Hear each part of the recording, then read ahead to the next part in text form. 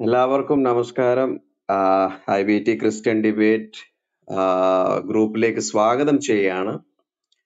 കർത്താവ് യേശു ക്രിസ്തുവിന്റെ നിശ്ചില നാമത്തിൽ ഞങ്ങളോടൊപ്പം സഹകരിക്കുന്ന ഇന്നലെയും ഇന്നും ഒക്കെ പ്രോഗ്രാമിൽ ഭാഗമായി തീർന്ന എല്ലാവർക്കും ഞങ്ങൾ നന്ദി അറിയിക്കുന്നു. അതോടൊപ്പം തന്നെ നിങ്ങളെ ഇന്നത്തെ പരിപാടിയിലേക്ക് ഞങ്ങൾ വെൽക്കം ചെയ്യുകയാണ്.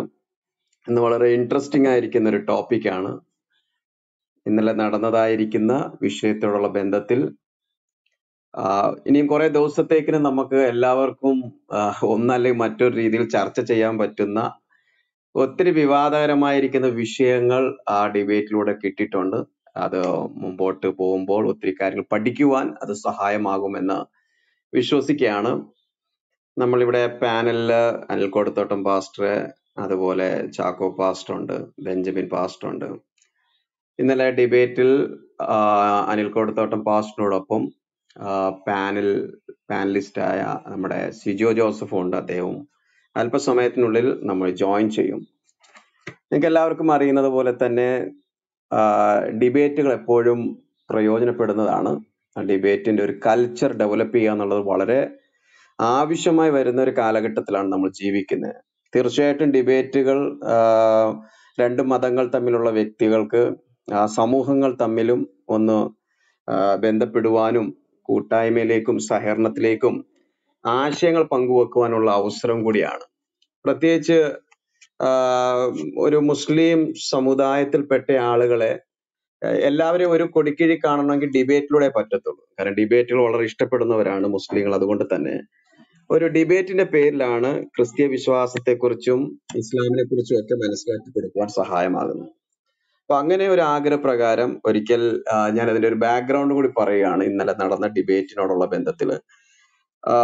നമ്മുടെ അനിൽ സാറ് മുസ്ലിങ്ങളുടെ ഗ്രൂപ്പിലായിരിക്കുകയും അവിടെ വെച്ച് അവർ മുമ്പോട്ട് വെച്ചതായിരിക്കുന്ന റിക്വസ്റ്റ് ആയിരുന്നു. ആ റിക്വസ്റ്റ് അനിൽ സാർ അംഗീകരിക്കുകയും അതിനോട് ബന്ധപ്പെട്ട് സംസാരിക്കുവാൻ വേണ്ടി എന്നെയും എന്നെയും സിജോ ജോസഫിനെയും ഏൽപ്പിക്കുകയും അവരുടെ ഭാഗത്തു നിന്ന് തന്നെ നമ്മുടെ മുഹമ്മദ് ഈസയുടെ സഹോദരൻ യാഹയും മറ്റു പ്രിയപ്പെട്ട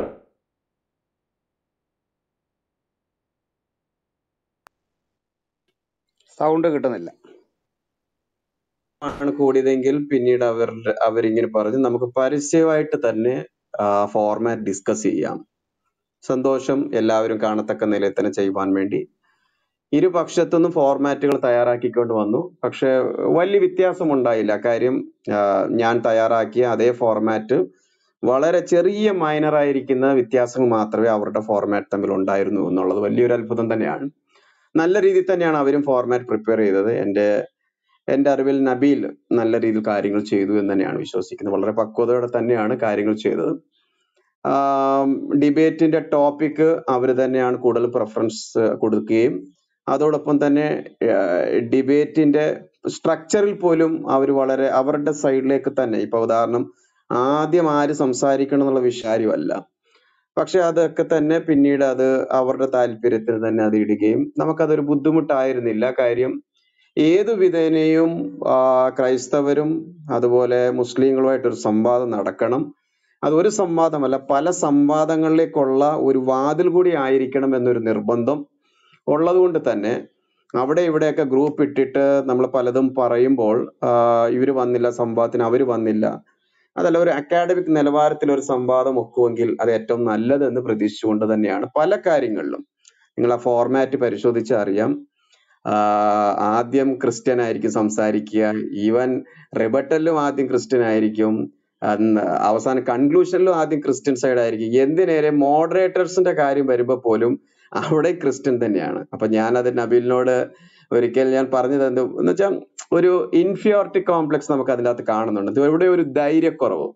എന്നിട്ട് ഈ ചർച്ച നടന്ന് എല്ലാം ഭംഗിയായി നടക്കും അതിന്റെ പേപ്പർ വർക്കുകളും കാര്യങ്ങളും എല്ലാം നല്ല രീതിയിൽ നബീലിന്റെ ഭാഗത്തു നിന്നെല്ലാം നടക്കുകയും ഒരു ഡിബേറ്റ് തുടങ്ങുന്നതിന് ഒന്നോ രണ്ടോ ദിവസം മുമ്പേ മുഹമ്മദ് ഈസയെ ഇവരിറക്കുകയാണ്. യഥാർത്ഥത്തിൽ ഇതിന് മുമ്പ് ഇവർ വേറൊരു നല്ല രസകരമായ ഒരു കളി. ആ കളി എനിക്ക് ഒത്തിരി ഇഷ്ടപ്പെട്ടു. എന്ന് വെച്ചാൽ വരാൻ പോകുന്ന പ്രോഗ്രാമിനെ കുറിച്ചൊക്കെ ഇങ്ങനെ ഇടയ്ക്കിടയ്ക്ക് ഇടയ്ക്ക് ടോപ്പിക്കുകൾ ഇടുന്നു. ഇട്ടിട്ട് എന്താ ക്രൈസ്തവരെ ഒന്ന് തെറ്റിദ്ധരിപ്പിക്കുക. എന്ന് വെച്ചാൽ ചെയ്യാൻ പോകുന്ന പതിനാലാം തീയതി നടക്കുവാൻ പോകുന്ന ഡിബേറ്റുമായിട്ട് ബന്ധപ്പെട്ട് കൗണ്ടർ പോയിട്ട് എന്തൊക്കെയോ എന്തോ ചർച്ച നടത്തുന്നു എന്ന്. എന്നിട്ട് അവർ ചർച്ച നടത്താറില്ല. അങ്ങനെ രണ്ടു മൂന്ന് പരിപാടികൾ അങ്ങനെ നീക്കി. അപ്പൊ ഞാനും വിചാരിച്ചു എന്തായാലും ഈ കളി എനിക്കും ഇഷ്ടപ്പെട്ടു. ഞാനും കുറച്ച് അതുപോലൊക്കെ ഇട്ടു. ഞാൻ നമ്മുടെ നമ്മുടെ സഹോദരന്മാരോടൊക്കെ പറഞ്ഞിട്ടുണ്ട് ഇത് വെറും പറ്റിക്കലാണ് ഇങ്ങനെ ഒരു പരിപാടി നമ്മൾ ചെയ്യുന്നില്ല.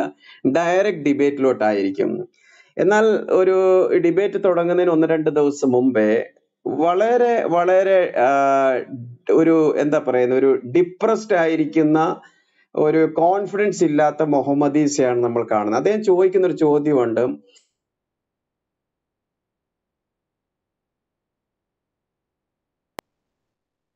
എന്താ പറ്റി? സൗണ്ട് പോയല്ലോ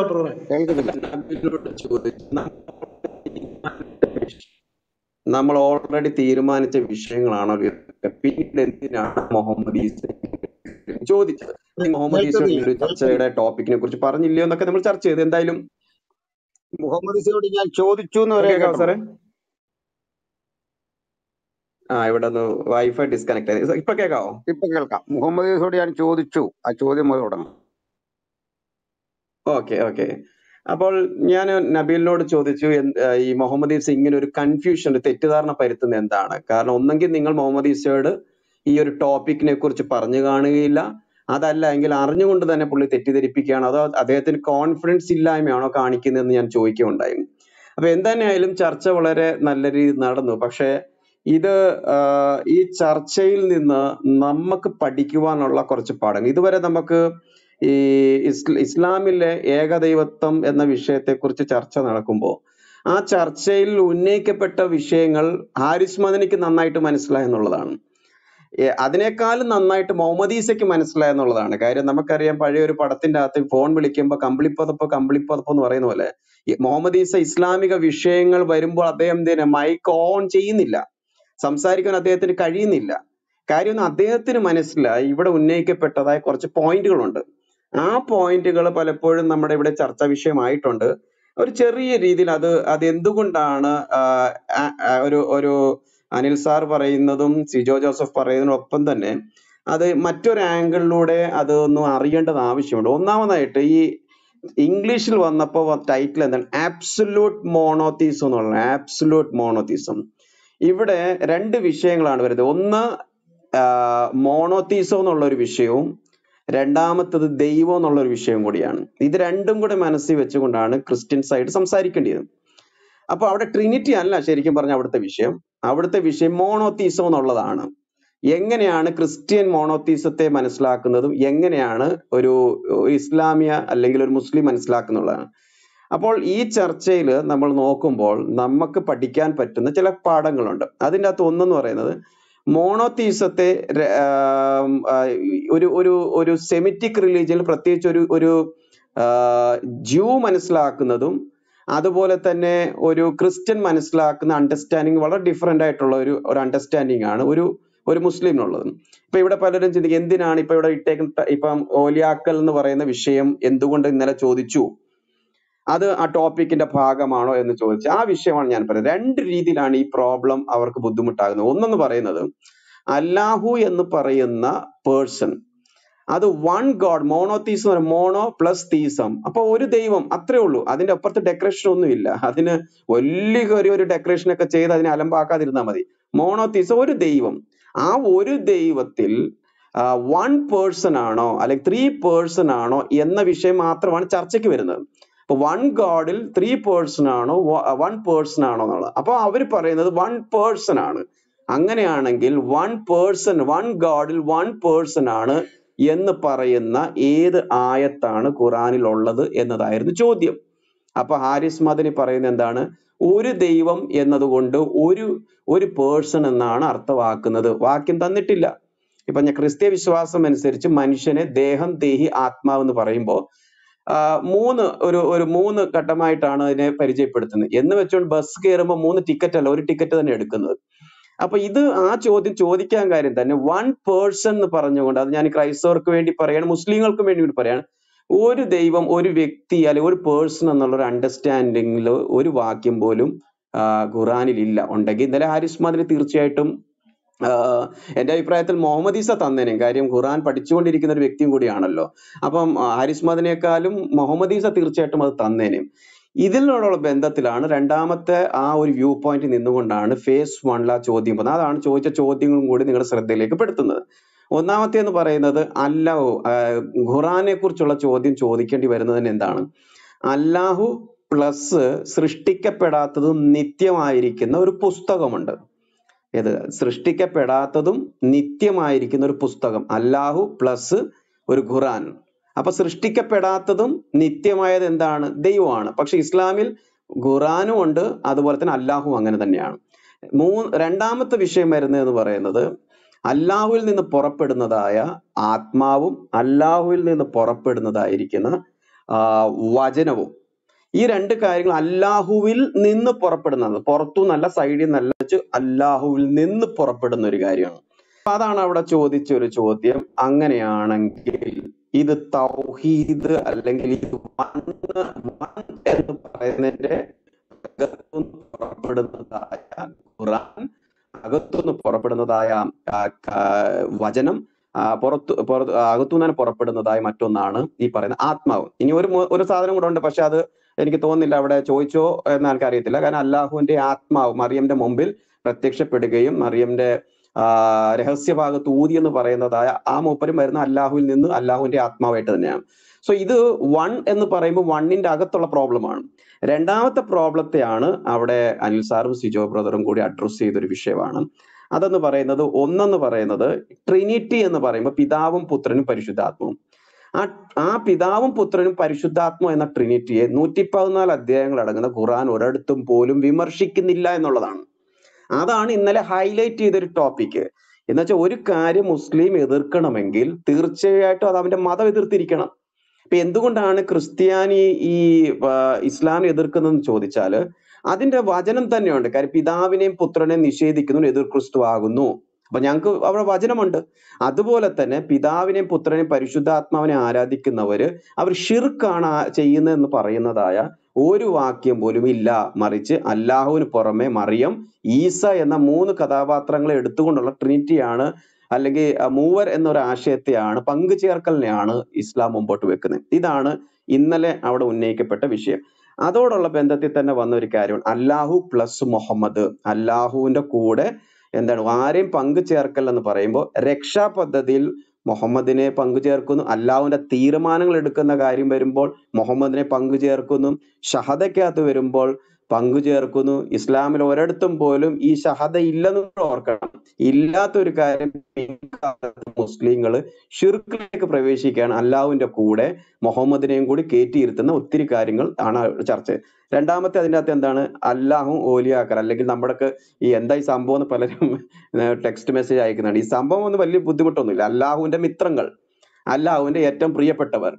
അപ്പൊ അല്ലാഹുവിന്റെ ഏറ്റവും പ്രിയപ്പെട്ടവർ. ഇന്നലെ ചോദിച്ചൊരു ചോദ്യം എന്താണ്? അപ്പൊ സിജോ ചോദിച്ചൊരു ചോദ്യത്തിന് ആരിസ്മദിന് പറയുകയാണ് അത് ഞാനൊരു സഹായം അനിൽ കൊടുത്തോട്ടത്തോടും ചോദിക്കും സിജോയോടും ചോദിക്കും. അങ്ങനെ അനിൽ കൊടുത്തോട്ടം സിജോയോട് ചോദിക്കുന്ന സഹായമല്ല ഇവിടെ ഇവിടുത്തെ ഓലിയാക്കന്മാരോടുള്ള ബന്ധത്തിൽ കിടക്കുന്നത്. ഇവിടുത്തെ വിശ്വാസം അനുസരിച്ച് കോടിക്കണക്കിന് മുസ്ലിങ്ങളുണ്ട്. അതിന്റെ അകത്ത് ചില ആളുകൾ മാത്രം അല്ലാഹുവിന് ഏറ്റവും പ്രിയപ്പെട്ടവരാണ്. അവരേറ്റവും മഹാന്മാരാണ് ശ്രേഷ്ഠന്മാരാണ്. അവർ ഭയങ്കര വിശുദ്ധന്മാരാണ്. അവർ മരിച്ചതിന് ശേഷവും അവരോട് സഹായം തേടാൻ പറ്റും എന്നുള്ളതാണ്. അപ്പം ആരാധന അല്ലാവിനോട് മാത്രം പ്രാർത്ഥന അല്ലാവിനോട് മാത്രം എന്നതാണ് തൗഹീദിന്റെ ഡെഫിനേഷൻ എങ്കിൽ ഏകദൈവത്തെക്കുറിച്ചുള്ള സംഭവം എങ്കിൽ ഇവിടെ സുന്നികളിൽപ്പെട്ട ആളുകൾ സബാസ്റ്റിൻ പുന്നക്കലുമായി ഡിബേറ്റ് നടത്തിയ നിഷാദ് എന്തെന്ന് പുള്ളി പറയുന്നത് ഏക അല്ലാവിനോട് മാത്രമുള്ള പ്രാർത്ഥന അത് പൈശാചികമാണ്. അപ്പൊ സുന്നികൾ സുന്നികൾ ഈ ഈ സുന്നികൾ ശരിക്കും പറഞ്ഞു കഴിഞ്ഞാൽ അവർ ഷിർക്ക് ചെയ്യുന്നു എന്ന് ക്രൈസ്തവരല്ല പറയുന്നത് അവർ തന്നെ. അപ്പൊ ഇതിനു വേണ്ടി സംസാരിക്കുന്ന പോലിയാക്കന്മാരെയൊക്കെ അതാണ് ഇന്നലെ ആ ഒരു ചർച്ച. അല്ലാഹു പ്ലസ് മുഹമ്മദ് അല്ലാഹു പ്ലസ് വിശുദ്ധന്മാര് എന്ന ഒരു ആശയം കൂടി അവിടെ കൊണ്ടുവരുന്നത് അപ്പോൾ അത് അത് പറഞ്ഞതിന് ശേഷം ഏറ്റവും ലാസ്റ്റിൽ അതിന്റെ മെയിൻ ഒരു ഹൈലൈറ്റ് എന്ന് പറയുന്നത് അത് ശ്രദ്ധിക്കേണ്ട ഒരു കാര്യമാണ്. ഏക ദൈവമായതുകൊണ്ട് അത് സത്യദൈവമാകുന്നില്ല എന്നതാണ് ആ ഒരു ഡിബേറ്റിന്റെ പോയിന്റ് എന്ന് പറയുന്നത്. ഏക ദൈവമായതുകൊണ്ട് അത് സത്യദൈവമാകുന്നില്ല. അല്ലാഹു പരിണമിച്ച ഏകദൈവമായി എന്നതാണ് ഇന്നലത്തെ ഒരു ഒരു ഹൈലൈറ്റ് എന്ന് പറയുന്നത്. ഞാൻ ഒരു കാര്യം കൂടി പറഞ്ഞ് അനിൽ സാറിലേക്ക് പോകാൻ ആഗ്രഹിക്കുകയാണ്. സാത്താൻ എന്ന് പറയുന്നത് ഒരാളാണ്.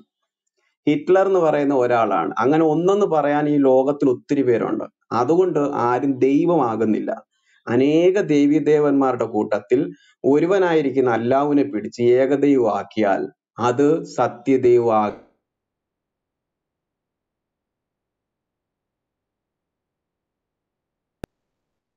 കണക്ഷൻ പോയി. കിട്ടുന്നില്ല.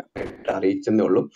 അനിൽ സാറെ ഫ്രീ ആണോ അനിൽ സാറെ കേൾക്കാവോ നമുക്ക് ചാക്കോ പാസിലേക്ക് ഒന്ന് പോകാം. ഒരു വിലയിരുത്തൽ അദ്ദേഹത്തിൽ നിന്ന് കേട്ടിട്ട് ഓക്കെ ഓക്കെ ഓക്കെ. ചാക്കോ പാസ്റ്ററെ ലൈനിലുണ്ടോ? ആ ഉണ്ട് ഉണ്ട് ഉണ്ട്.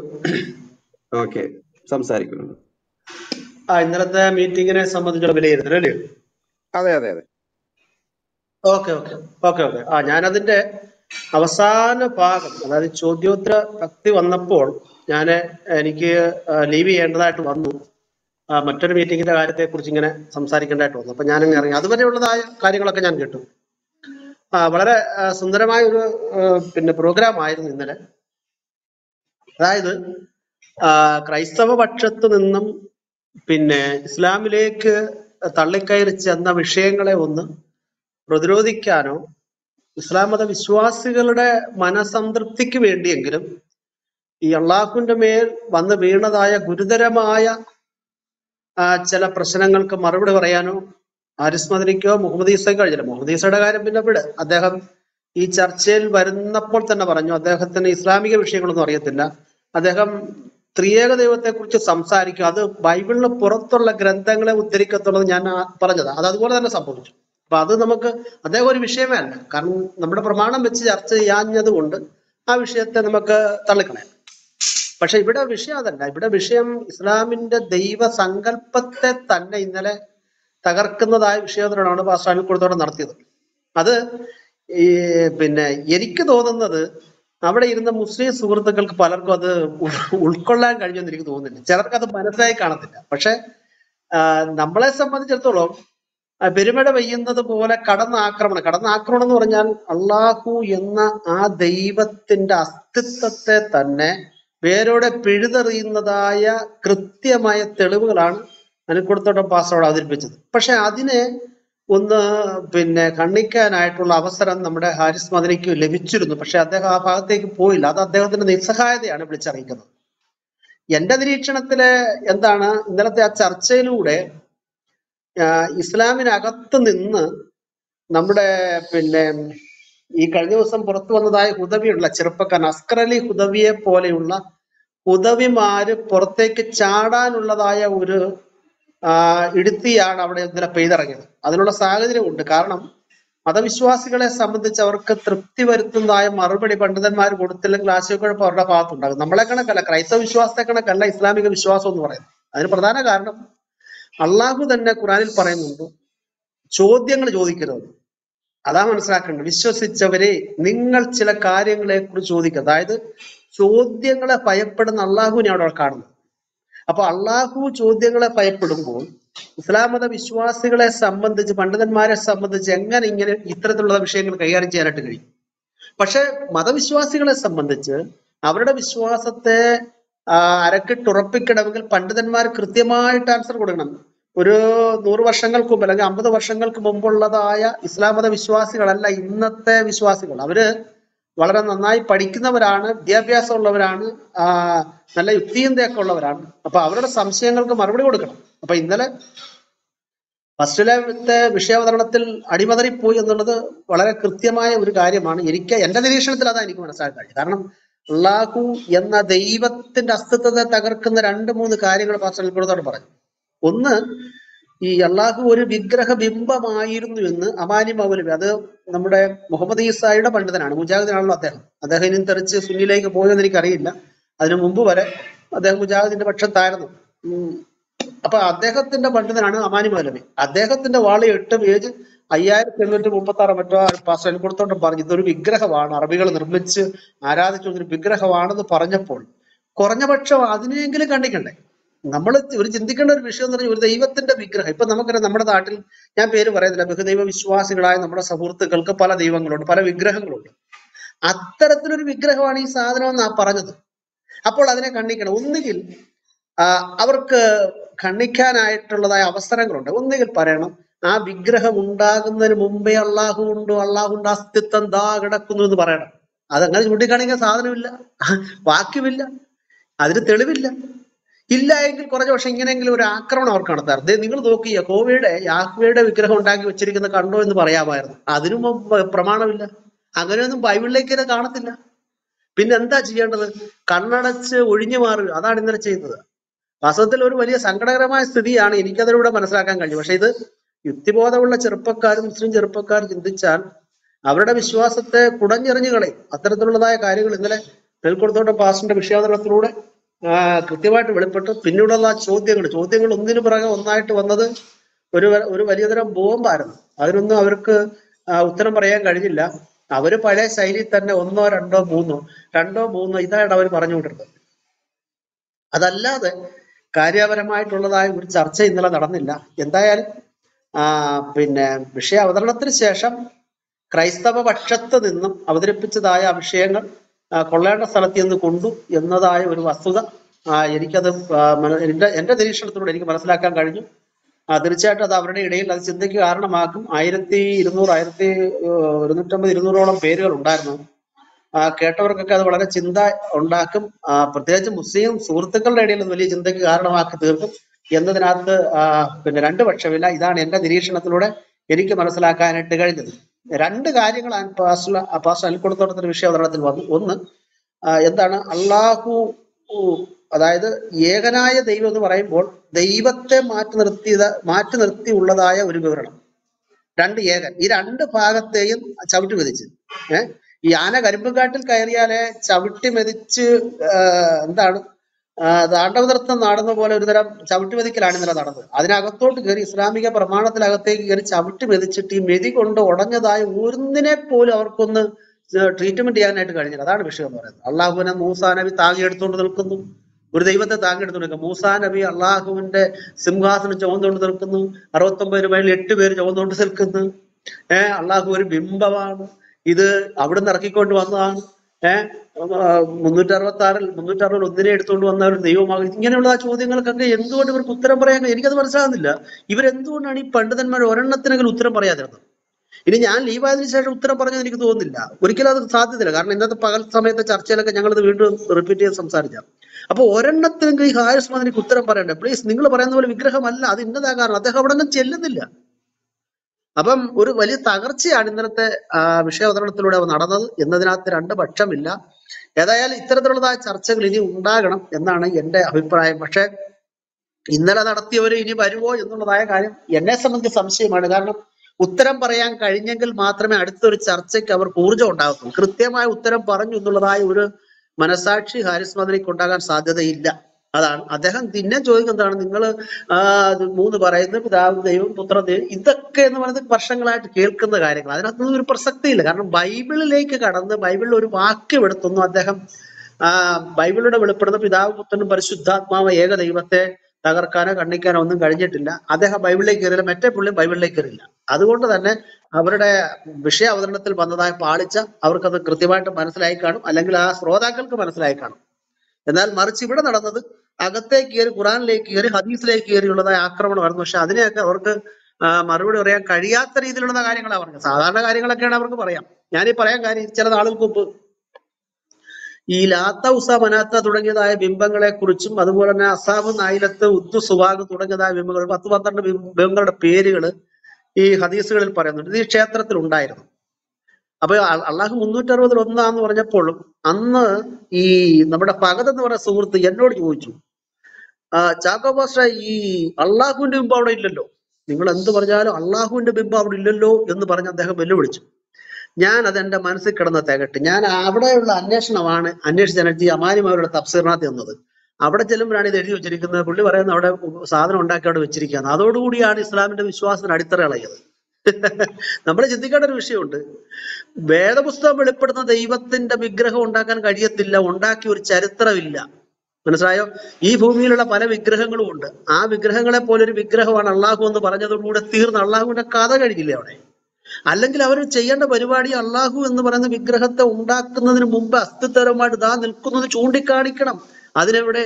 അതിനുടനെ സൂറത്തിൽ ഇഖ്ലാസ് നോക്കൂ അള്ളാഹു സമുദ് അള്ളാഹു പിന്നെ അഹദ് അഹം ലലിത് വലം ദുലം എന്നൊക്കെ പറഞ്ഞുകൊണ്ട് ഹാരിസ് മദനെ ഉച്ചരിക്കുക. അതൊക്കെ മുഹമ്മദ് പറയുന്ന കാര്യമല്ലേ? മുഹമ്മദ് മുഹമ്മദിന് മുമ്പ് ഉണ്ടായതായ ഈ ഈ പഞ്ചലോക വിഗ്രഹം അല്ലെങ്കിൽ മറ്റേതെങ്കിലും മെറ്റീരിയൽസ് ഇതുകൊണ്ട് നിർമ്മിക്കപ്പെട്ട ഈ സാധനം ഉണ്ടാക്കുന്നതിന് മുമ്പ് അസ്തിത്വപരമായിട്ട് ഇത് ഇവിടെ ഉണ്ട്. ഇത് പദാർത്ഥാതീതനാണ് ഇത് പ്രപഞ്ചാതീതനാണ് ഇത് ഇന്ദ്രിയാതീതനാണ് ഇതിന്റെ അസ്തിത്വം ദാ കിടക്കുന്നു എന്ന് പറഞ്ഞിരുന്നെങ്കിൽ ആ ചർച്ച വമ്പം വിജയമായനെ. പക്ഷെ ഇസ്ലാമിക ചരിത്ര പുരുഷന്മാർ ഇനിയും എത്ര മദനിമാരുണ്ട് അവരാരും ഇറങ്ങി വന്നാൽ അവർക്കത് പറയാൻ കഴിയത്തില്ല. കാരണം അത്ര ഒരു സാധനം ഈ ഖുറാനകത്തെങ്ങും ഇല്ല. അള്ളാഹു പദാർത്ഥാതീതനാണെന്ന് പറയുന്ന ഒരു ആയത്തോ അള്ളാഹു പ്രപഞ്ചാതീതനാണെന്ന് പറയുന്ന ആയത്തോ അള്ളാഹു വിഗ്രഹത്തിന് മുകളിലാണെന്ന് പറയുന്ന ഒരു ആയത്തോ ഖുറാനിൽ ഇല്ല. ഇതെല്ലാം മുഹമ്മദ് വിഗ്രഹത്തെ എടുത്തുകൊണ്ട് വന്നതിന് ശേഷം ദൈവമാക്കിയതിന് ശേഷം പറയുന്ന കാര്യങ്ങളാണ് ഈ ഖുറാനിനകത്തുള്ളത്. അതാണ് എന്റെ വസ്തുത. ഏതായാലും ഇന്നത്തെ ചർച്ച ആ ക്രൈസ്തവ പക്ഷത്തു നിന്നുണ്ടായ ആ വിഷയ അവതരണത്തിന് കൃത്യമായ മറുപടി പറയാൻ കഴിഞ്ഞില്ല എന്നുള്ള ഒരു ദുരന്തം ഇസ്ലാമിന്റെ മുഖത്ത് കിടപ്പുണ്ട് പണ്ഡിതന്മാരുടെ മുഖത്ത് കിടപ്പുണ്ട് എന്നുള്ള ആ വസ്തുത അവർ മനസ്സിലാക്കിയാൽ നന്ന്. ഇല്ലെങ്കിൽ ഞാൻ ഈ പറഞ്ഞതുപോലെ തന്നെ അസ്കർ അലി ഹുദയുമാർ പുറത്ത് ചാടാനായിട്ടുള്ളതായ വേദി ഒരുക്കിയ ഒരു ചർച്ചയായിരുന്നു ഇന്നലെ എന്നതിനകത്ത് രണ്ട് പക്ഷമില്ല. അസ്കർ അലിയെ പോലെയുള്ള ചിന്താശീലരായ ചെറുപ്പക്കാരെന്നില്ല അതിനകത്ത് കേട്ടിട്ടുണ്ടെങ്കിൽ വലിയ താമസമില്ലാതെ ഈ ഇതിന്റെ വേലിക്കെട്ട് പൊളിച്ച് പുറത്തിയാണ് ചെറുപ്പം. ഞാൻ ഇന്ന് പകൽ രണ്ട് മീറ്റിംഗിൽ ഞാനത് പറഞ്ഞു. അസ്കർ പോലുള്ള ചെറുപ്പക്കാരുണ്ടെങ്കിൽ ഈ വേലി വിളിച്ച് പുറത്ത് അടിപ്പോ കാരണം അവരെ തൃപ്തിപ്പെടുത്താനായിട്ട് ഇന്നലത്തെ പരിപാടി നടക്കത്തില്ല. അവർക്ക് കൃത്യമായ ഉത്തരം കൊടുക്കണം. ഇതാരാ? ചുമ്മാ എഴുന്നേറ്റ് എന്ന് വെച്ചാൽ നമ്മുടെ അക്ബറിന്റെ ശൈലിയുടെ പ്രപഞ്ചനാഥൻ പദാർത്ഥ ഇതൊക്കെ ഇവർ അള്ളാഹുവിന്റെ പുറത്ത് വെക്കുന്ന ആരോപണമാണ് പുള്ളി ഇത് അള്ളാഹു ഇതൊന്നും പറഞ്ഞിട്ടില്ല. അള്ളാഹുവിന്റെ പുറത്തു വെക്കുന്ന ആരോപണ പ്രപഞ്ചാതീതൻ ഇന്ദ്രിയാതീതൻ പടച്ച തമ്പുരാൻ എന്നൊക്കെ പറയും. ഇതൊന്നും അള്ളാഹ് പറഞ്ഞിട്ടുള്ള കാര്യമില്ല. പക്ഷെ ഇപ്പോഴത്തെ ചെറുപ്പക്കാർക്ക് ആവശ്യം എന്താണ്? ഈ ആൾ ദൈവമാണോ എന്ന് അവർക്ക് അറിയണം ആ ചിന്ത അവരെ പുറത്തേക്ക് തള്ളി പുറത്തേക്ക് മതം പൊട്ടിച്ച് പുറത്തു വരും എന്നതിനകത്ത് രണ്ട് പക്ഷമില്ല. അതാണ് ഇന്നലത്തെ ചർച്ച കൊണ്ട് ഇവിടെ ഉണ്ടായത്. Okay. Thank you Chacko pastor എല്ലാവരുടെയും ഒരു അറിവിലേക്ക് ഒരു കാര്യം പറയാണ്. ഇന്നത്തെ ഡിസ്കഷൻ മെയിനായിട്ട് ക്രിസ്ത്യൻ ഇസ്ലാം വിഷയത്തോടുള്ള ബന്ധത്തിലായതുകൊണ്ട് തന്നെ മെയിനായിട്ട് മുസ്ലിം പക്ഷത്തുള്ള പ്രിയപ്പെട്ടവർക്ക് മുകളിലോട്ട് കടന്നു വരാം. അതുപോലെ തന്നെ ഈ വിഷയത്തിലുള്ള ബന്ധത്തിൽ എന്തെങ്കിലും അറിയാനോ പഠിക്കുവാനോ എന്തെങ്കിലും അഭിപ്രായം പറയാൻ ആഗ്രഹിക്കുന്ന ക്രൈസ്തവർക്കും കടന്നു വരാം. ഇത് രണ്ടിൽ പെടാത്ത ആൾക്കാർ വെറുതെ വന്ന് ഇതിലൂടെ എന്തെങ്കിലും സമയം കളയണമെന്ന് തോന്നുന്നില്ല. അതുകൊണ്ട് തന്നെ ഇന്നത്തെ പ്രോഗ്രാം മെയിനായിട്ട് നമ്മൾ മെയിനായിട്ട് ഈ ഒരു ഡിബേറ്റ് പോസ്റ്റ് ഡിബേറ്റ് റിവ്യൂ ആയിട്ടും പോസ്റ്റ് ഡിബേറ്റ് ഡിസ്കഷനുമായിട്ടാണ് കൊണ്ടുപോകുന്നത് എന്നൊരു കാര്യം കൂടി അറിയിക്കുകയാണ്. അടുത്ത നമുക്ക് അനിൽ കൊടുത്തോട്ടം പാസ്റ്ററെ ഞാൻ ക്ഷണിക്കുകയാണ്. അനിൽ സാറേ ലൈനിലുണ്ടോ ആ, ഉണ്ട്. ഡിബേറ്റിൽ പങ്കെടുത്ത പ്രബന്ധം അവതരിപ്പിച്ച ചോദ്യോത്തരങ്ങൾക്ക് മറുപടി പറഞ്ഞ ആളുകൾ എന്ന നിലയിൽ എനിക്കും സിജോ ബ്രദറിനും ഇതിൽ ചെറിയ റോളേ ഉള്ളൂ ഈ വിശകലനത്തിൽ എന്നാൽ ഞങ്ങൾക്കും ഇതിൽ പറയാനുള്ളത് പൊതു രംഗത്തുനിന്ന് ശേഖരിച്ച അഭിപ്രായങ്ങളെ ആധാരമാക്കിയാണ്. മാത്രമല്ല നമുക്കൊരു ഡിബേറ്റിൽ എന്ത് സംഭവിക്കുന്നു എന്ന് മറ്റാരേക്കാളും ഡിബേറ്റിൽ പങ്കെടുക്കുന്നവർക്കും വിശേഷിച്ച് ക്രൈസ്തവപക്ഷത്തുള്ള ഞങ്ങൾക്കും ആരീസ് മദനിക്കും മിക്കവാറും വിവരമുള്ള മുസ്ലിങ്ങൾക്കെല്ലാം പിടികിട്ടിയിട്ടുണ്ട്. അങ്ങനെ ഉള്ളപ്പോൾ തന്നെ സൗണ്ട് പോയി. കേൾക്കാമോ? കേൾക്കാം കേൾക്കാം കേൾക്കാമോ പാസ്റ്റർ കേൾക്കാമോ കേൾക്കാം കേൾക്കാം ക്രൈസ്തവപക്ഷത്തു നിന്നുള്ള നമുക്കും മുസ്ലിങ്ങളിലെ ബഹുഭൂരിപക്ഷം ആളുകൾക്കും ഇന്നലെ എന്ത് സംഭവിച്ചു എന്ന് നന്നായി മനസ്സിലായി. എന്നാൽ അക്ബർ സാഹിബ് പറഞ്ഞ പോലെ അവരെ അടുത്ത കാലത്തായി ഭരിക്കുന്ന ഒരു അപകർഷതാബോധമുണ്ട്. അപകർഷതാബോധം നിമിത്തം പള്ളു പറയാനും വികാരജീവികളെ പോലെ പെരുമാറാനും നമ്മുടെ പാവം സഹോദരന്മാർ തയ്യാറാകുന്നുമുണ്ട്. അതിലൊന്നും നമുക്ക് പ്രശ്നമില്ല.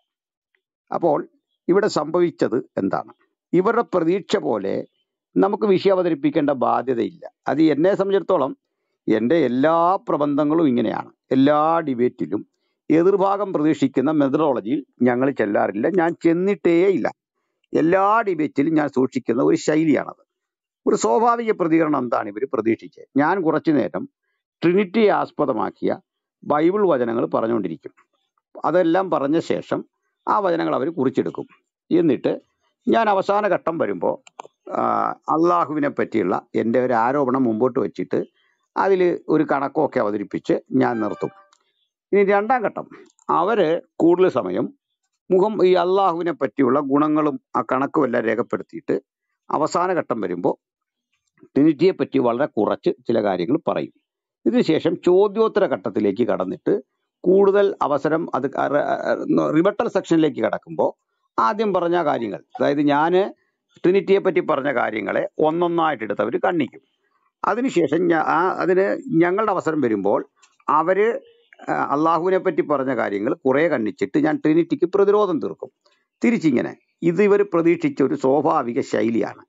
ഇവിടെ അങ്ങനൊരു ശൈലിയൊന്നുമില്ല. അങ്ങനൊരു ഫോർമാറ്റൊന്നുമില്ല. കാരണം ഇത് നമ്മുടെ മുമ്പിൽ വെച്ചിരിക്കുന്ന ഒരു വിഷയമാണ്. ആ വിഷയം ട്രിനിറ്റി വണ്ണസ് എന്നല്ല. അല്ലെങ്കിൽ ട്രിനിറ്റി മൊണോത്തൈസം എന്നല്ല. മൊണോത്തൈസം ഇസ്ലാമിലും മൊണോത്തൈസം ക്രിസ്ത്യാനിറ്റിയിലും അതല്ലേ?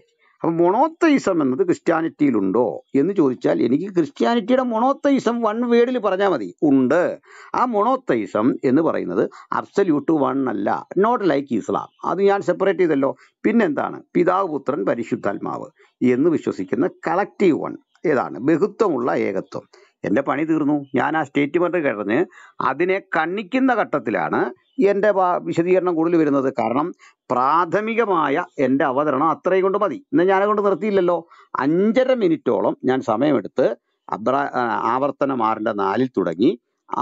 യോഹന്നാന്റെ സുവിശേഷം ഇന്ന് ഒന്നിന്റെ ഒന്നിൽ വന്ന് മത്തായുടെ സുവിശേഷം ഇരുപത്തെട്ടിന്റെ പത്തൊമ്പതിൽ വന്ന് അങ്ങനെ വിശദീകരിച്ചു.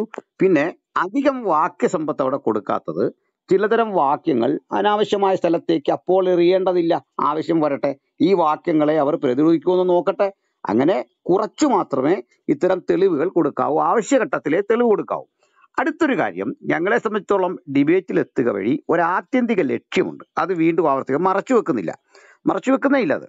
മൂന്ന് പതിറ്റാണ്ട് എം എം അക്ബർ സാഹിബിയുടെ ഡിബേറ്റ് നടത്തി. അവസാനം അതിന്റെ റിസൾട്ട് പുറത്തു വന്നു. മുഹമ്മദിനെ പറ്റി ഇസ്ലാമിക സഹോദരങ്ങൾക്കിടയിൽ ഒരു ബോധം രൂപപ്പെട്ടിരിക്കുന്നു. തീർച്ചയായിട്ടും അതിന് ഞങ്ങളാ കാരണക്കാര്. മറ്റാരുമല്ല ഇതിന് കാരണക്കാർ അപ്പൊ മുഹമ്മദ് എന്ന് കേട്ടാൽ ഇന്ന് മനുഷ്യ സമൂഹത്തിൽ ഉണ്ടാകുന്ന ഒരു ഒരു തരം വല്ലായ്മയുണ്ട്. അത് മുസ്ലിങ്ങൾക്കിടയിലാണ് കൂടുതലെന്ന് അക്ബർ സാഹിബ് പറയുന്നു മുജാഹിദ് പണ്ഡിതൻ. ഞങ്ങളുടെ അടുത്ത ലക്ഷ്യം ഇതേ അപകർഷതാബോധം ഖുറാനെ പറ്റി അള്ളാഹുവിനെ പറ്റി സൃഷ്ടിക്കുക അത് ജനങ്ങളിൽ എത്തിക്കുക. മൂന്നാമത്തെ ഘട്ടം ഖുറാനെ പറ്റി എത്തിക്കുക. ഇത് ഞങ്ങളുടെ പ്രഖ്യാപിത ലക്ഷ്യമാണെന്ന് മുഹമ്മദ് ഈസിയോട് പറഞ്ഞിട്ടുള്ള വസ്തുതയാണ്. ഞങ്ങൾ ഇങ്ങനെ ചെയ്യും. അതിന് കാരണം നിങ്ങൾ ഉണ്ടാക്കിയ ഒരു സാഹചര്യമാണ്. അതുകൊണ്ട് മൂവായിരത്തോളം പേരുണ്ടായിരുന്നു അജാക്കോ പാഷ ആയിരത്തി അഞ്ഞൂറല്ല അത്രയും പേര് കൂടിയ ഒരു ഓഡിയൻസിന്റെ മുമ്പിൽ എന്റെ പക്കൽ വന്നിരിക്കുന്ന ഒരു ഗോത്രദേവന്റെ പൊള്ളത്തരങ്ങൾ അത് വ്യക്തമാക്കി കൊടുക്കുക എന്നത് എന്റെ ആവശ്യമായിരുന്നു. ഞാൻ അവിടുന്ന് തുടങ്ങി. അതായത് റിവേഴ്സ് ഓർഡറിൽ അതായത് ഇവരാദ്യം പ്രതീക്ഷിച്ചത് ഞാൻ അവസാനം പറഞ്ഞു. ആ അവസാനം പ്രതീക്ഷിച്ച ആദ്യം പറഞ്ഞു. അപ്പോൾ വിഷയം രണ്ടും വന്നല്ലോ. അടുത്ത ഘട്ടം ഇവർ ഞങ്ങൾ വിരിച്ച വലയിൽ പെട്ടു കാരണം ഇവർ സ്വാഭാവികമായിട്ട് അപ്പൊ ചെയ്തത് അവരുണ്ടാക്കി വെച്ച പ്രബന്ധത്തിൽ നിന്ന് മാറിക്കൊണ്ട് ആകെ പിറുവിറുക്കാനും കുശൂഷിക്കാനും തുടങ്ങി. അവരുടെ കയ്യിൽ നിന്ന് സബ്ജക്റ്റ് പോയി. അവരെത്തിയത് പ്രതിരോധിക്കണോ സ്ഥാപിക്കണോ? ഈ ഒരു കൺഫ്യൂഷൻ ആദ്യ റൗണ്ടിൽ ഇട്ടുകൊടുത്തു അപ്പോൾ അവരുടെ മോഡറേറ്റർ സഹിതം അസ്വസ്ഥനാകുന്ന കണ്ടത് ജനം വിലയിരുത്തട്ടെ വിഷയത്തിൽ നിന്നോ? ജനം വിലയിരുത്തട്ടെ. എന്തുകൊണ്ടാണ് വിഷയത്തിൽ നിന്നില്ലെന്ന് പറയാൻ കാരണം? വിഷയം എന്ന് പറഞ്ഞാൽ രണ്ട് വിഷയം വരുന്നു. ഒന്ന് ദൈവത്തിന്റെ ഏകത്വം രണ്ട് ദൈവം ഏകത്വം രണ്ടും വരുന്നുണ്ട്. ഈ കക്ഷി ദൈവമാണെന്ന് പരിശോധിക്കണ്ടേ? ദൈവമാണെങ്കിലല്ല ഏകത്വം എന്ന പദത്തിന് അർത്ഥമുള്ളൂ. അല്ലാതെ ഏകനായതുകൊണ്ട് ദൈവമാകില്ല. ദൈവമാണെങ്കിലേ ഏകത്വ മത എന്ന പദത്തിന് അർത്ഥമുള്ളൂ. ഞാൻ ആ പോയിന്റിലാണ് ഊന്നിയത്. അപ്പോൾ ഒരിക്കലും ഖുറാനിൽ കാണുന്ന അള്ളാഹു സ്വതന്ത്രനായ ഖുറാനിലൂടെ മാത്രം രൂപപ്പെട്ടു വരുന്ന ഒരാളല്ലെന്നും ഖുറാനിൽ പറയുന്ന കക്ഷിക്ക് ഒരു പൂർവകാല ചരിത്രം ഉണ്ടെന്നും അത് കുറൈശി ദേവനാണെന്നും അദ്ദേഹത്തിന് ബിംബമുണ്ടായിരുന്നെന്നും ഈ മുഹമ്മദിന്റെ പിതൃവ്യനായ അബു താലിബ് ഇങ്ങനെ ഏകദൈവത്തെക്കുറിച്ച് ഇതിനു മുമ്പ് ഈ പറയുന്ന വിധത്തിൽ കേട്ടിട്ടില്ലെന്നും അത് ആ ബിംബത്തെ അവർ കൃത്യമായി സ്ഥാപിച്ചെന്നും പിന്നെ അള്ളാഹുവിനെ പറ്റിയുള്ള ഖുറാൻ വിവരണങ്ങളും എല്ലാം കൊടുത്തിട്ട് നമ്മൾ തെളിയിച്ച എന്തൊക്കെയാ? ഒന്ന് അള്ളാഹു ഗോത്രദേവൻ. രണ്ട് അള്ളാഹുവിന് ബിംബമുണ്ട്. മൂന്ന് അള്ളാഹു എന്ന് പറയുന്ന ആൾ മുഹമ്മദിനും താഴെയാണ്. അങ്ങനെ മൂന്ന് പ്രധാനപ്പെട്ട വിഷയങ്ങൾ. ഇനി അള്ളാഹുവിന് വന്ന രൂപപരിണാമങ്ങളുണ്ട്. കാരണം കുറൈശികളുടെ ദേവനായിരിക്കുന്ന കാലഘട്ടത്തിലെ അള്ളാഹുവിനെയാണല്ലോ മുഹമ്മദ് പരിചയപ്പെടുന്നത്. അവിടുന്ന് ബന്ധന വിമുക്തനാകുന്നില്ല. അപ്പൊ ഖദീജ പറയുന്നുണ്ട് അങ്ങയുടെ നാഥൻ അങ്ങയോട് കാരുണ്യം കാണിക്കും അങ്ങ് വളരെ ഡീസന്റ് ആണ് എന്നൊക്കെ പറയുന്ന ഭാഗമുണ്ട്. അപ്പൊ ഖുറേഷി ദേവന? അല്ലാതെ അള്ളാഹു ഖദീജ പറയുന്ന അള്ളാഹു എങ്കിലും കുറഞ്ഞ വർഷം ഖുറേഷി ദേവനല്ലേ? അപ്പൊ അവിടുന്ന് ഈ ഖുറൈശി ദേവനിൽ നിന്ന് അടുത്ത ഡെവലപ്മെന്റ് ആണ് ഏകദൈവം. അപ്പോഴേക്കും അങ്ങ് മദനീ കാലഘട്ടം എത്തി അങ്ങ് പോയി. അപ്പൊ പത്ത് പതിനെട്ട് വർഷം കഴിയുമ്പോഴാണ് ലാത്ത മനാത്ത ഇവരെല്ലാം മാറ്റുന്നത്. അതിനിടയ്ക്ക് ഏകനെന്ന് പറയുന്നൊക്കെ ഉണ്ട്. അങ്ങനെ ഇന്നത്തെ സംശയമൊന്നുമില്ല. അതിൽ ആയത്തുകളിലൊക്കെ കാണുന്നുണ്ട്. അള്ളാഹു ഏകൻ എന്ന് പറയുന്ന പരാമർശങ്ങളില്ലെന്നൊന്നും നമുക്ക് അഭിപ്രായമില്ല മറിച്ച് സംഭവിക്കുന്നത് അപ്പോഴും ഇവരുണ്ട്. ഇനി ഈ കാണുന്ന മുന്നൂറ്റി അറുപത് ബിംബങ്ങൾ നിൽക്കുന്ന കാബാക്ഷേത്രത്തിന് നേരെ തിരിഞ്ഞിരുന്ന് മുഹമ്മദ് പ്രാർത്ഥിക്കുന്നുണ്ട്. മുഹമ്മദ് നഗ്നനായി തൊവാവ് ചെയ്യുന്നുണ്ട് ഈ സ്ഥലങ്ങളിലൊക്കെ. അപ്പൊ ഇതൊക്കെ ഞങ്ങൾ എടുത്തു കാട്ടി. ഇതേക്കുറിച്ച് ഒരു അക്ഷരം മിണ്ടുന്നില്ല. ഇനി മാത്രമല്ല സർവോപരിയായി ഞങ്ങൾ പറഞ്ഞ കാര്യം അള്ളാഹു എന്ന് പറയുന്ന ആളിന്റെ ചില അള്ളാഹു എന്ന് പറയുന്ന ആളിനെ പറ്റി ഖുറാൻ തരുന്നതും ഹദീസ് തരുന്നതുമായ വിശദീകരണമാണ്. വെള്ളത്തിന് മുകളിലിരിക്കുന്നു എട്ട് പേര് ഈ പല്ലക്ക് ചുമന്നുകൊണ്ട് വരുന്നു. അത് താഴെ വീടായിരിക്കാൻ മൂസ താങ്ങി നിർത്തുന്നു. അള്ളാഹുവിന്റെ വലത് സൈഡിൽ രണ്ട് കൈയുണ്ട്. അള്ളാഹുവിന്റെ അരക്കെട്ടിൽ ആരോ കേവന്മാർ പിടിച്ചു കുലുക്കുന്നുണ്ട്. അള്ളാഹുവിന്റെ ശാന്തിക്ക് വേണ്ടി ആളുകൾ പ്രാർത്ഥിക്കുന്നുണ്ട്. അള്ളാഹു അവസാനം നരകത്തിൽ ചാടും. ഇതിന് ഞങ്ങൾ ആയത്ത് കൃത്യം കൊടുത്തു. ഇത്രയും കൊടുത്തിട്ട് ഇവർ പറയേണ്ടിരുന്ന എന്താ? ഇത് തെറ്റാണ്. അള്ളാഹുവിനെ ആരും കുലുക്കുന്നില്ല. അത് പറയുന്ന ആയത്ത് അങ്ങനെയല്ല. തെളിവ് തരണം. ഇവർ പറയേണ്ടത് എന്താണ്? ഗോത്രദേവനല്ല. അങ്ങനെ ഒരു സംഭവമില്ല. അള്ളാഹുവിന് ബിംബമില്ല. തെളിവ് തരണം. ഇങ്ങനെ ഒരെണ്ണത്തെ കണ്ണിക്കാൻ സാധിച്ചോ? ഒരിക്കലുമില്ല. ഞങ്ങൾ പറഞ്ഞു ജിന്നിൽ ലൈംഗിക ബന്ധം നടത്തി ഇദ്ദേഹത്തിന് മൂന്ന് പെൺമക്കളുണ്ട്. ഇത് ഞങ്ങൾ പറഞ്ഞു അതിനെ കണ്ണിക്കുന്നില്ല. പിന്നെ ഏറ്റവും പ്രധാനമായിട്ട് പറഞ്ഞെന്താ അള്ളാഹുവിന് ചരിത്രബോധമില്ല. കാരണം ജിന്നുകളെ ഇറക്കി സുലൈമാന് കൊട്ടാരം പണിയുന്നു. അബ്രഹാമിന്റെ അപ്പന്റെ പേര് ആസർ എന്ന് പറയുന്നു. ഫറവോന്റെ മന്ത്രിയാണ് ഹാമാൻ. എത്ര വിവരദോഷമാണ് നിങ്ങൾ ഓർക്കണം. ഫറവോ എടുത്തുകാരന ഒരു ഒരു ഉത്തരാഫ്രിക്കൻ രാജ്യക്കാരൻ. ഹാമാൻ എടുത്തുകാരന നമ്മുടെ ഈ പേർഷ്യക്കാരൻ. അതായത് നമ്മൾ ഇന്ന് ഇറാൻ എന്ന് വിളിക്കുന്ന രാജ്യം. ഒന്ന് മധ്യപൂർവ ഏഷ്യയിലും മറ്റൊന്ന് ആഫ്രിക്കയിലുമാണ്. അപ്പോൾ ഈ സൈഡ് അമ്മയുടെ പിതാവാരാ ഇമ്രാൻ. ഇമ്രാന്റെ മക മറ്റൊരു മകനാരാ ഹറൂൺ. ചുരുപ്പത്തിൽ അഹരോനും ഇമ്രാമിനും ഉണ്ടായ പുത്രിയായ മിറിയാമിനെ യേശുവിന്റെ അമ്മയായ മറിയമെന്ന് തെറ്റിദ്ധരിച്ചു. ഇങ്ങനെ ഞങ്ങൾ നിരന്തരം നിരവധി കാര്യം കൊടുത്തു. ഇതിനൊന്നും ഒരു മിണ്ടാട്ടവും ഇല്ല. ഞാൻ അവസാനം തെളിയിച്ചൊരു കാര്യം. ഇസ്ലാം ലോകമുണ്ടല്ലോ ഇസ്ലാമിക് വേൾഡ് ഈ വേൾഡിലെ ഏറ്റവും വിവരം കുറഞ്ഞ ആളാണ് അള്ളാഹു ഇതെന്റെ വളരെ ഇവർ ഈ തൃത്വത്തിലൊക്കെ പ്രയോഗിക്കുന്ന യുക്തി ഞങ്ങൾക്ക് പാടില്ലെന്നുണ്ടോ കൃത്യമായി ചോദിച്ച കാര്യം ഇതാണ്. ആയിരത്തി നാനൂറ് വർഷത്തെ ഇസ്ലാമിക ചരിത്രത്തിലെ ഏറ്റവും വിവരം കെട്ടയാൾ അള്ളാഹു ആണ്. എന്താണ് കാരണം?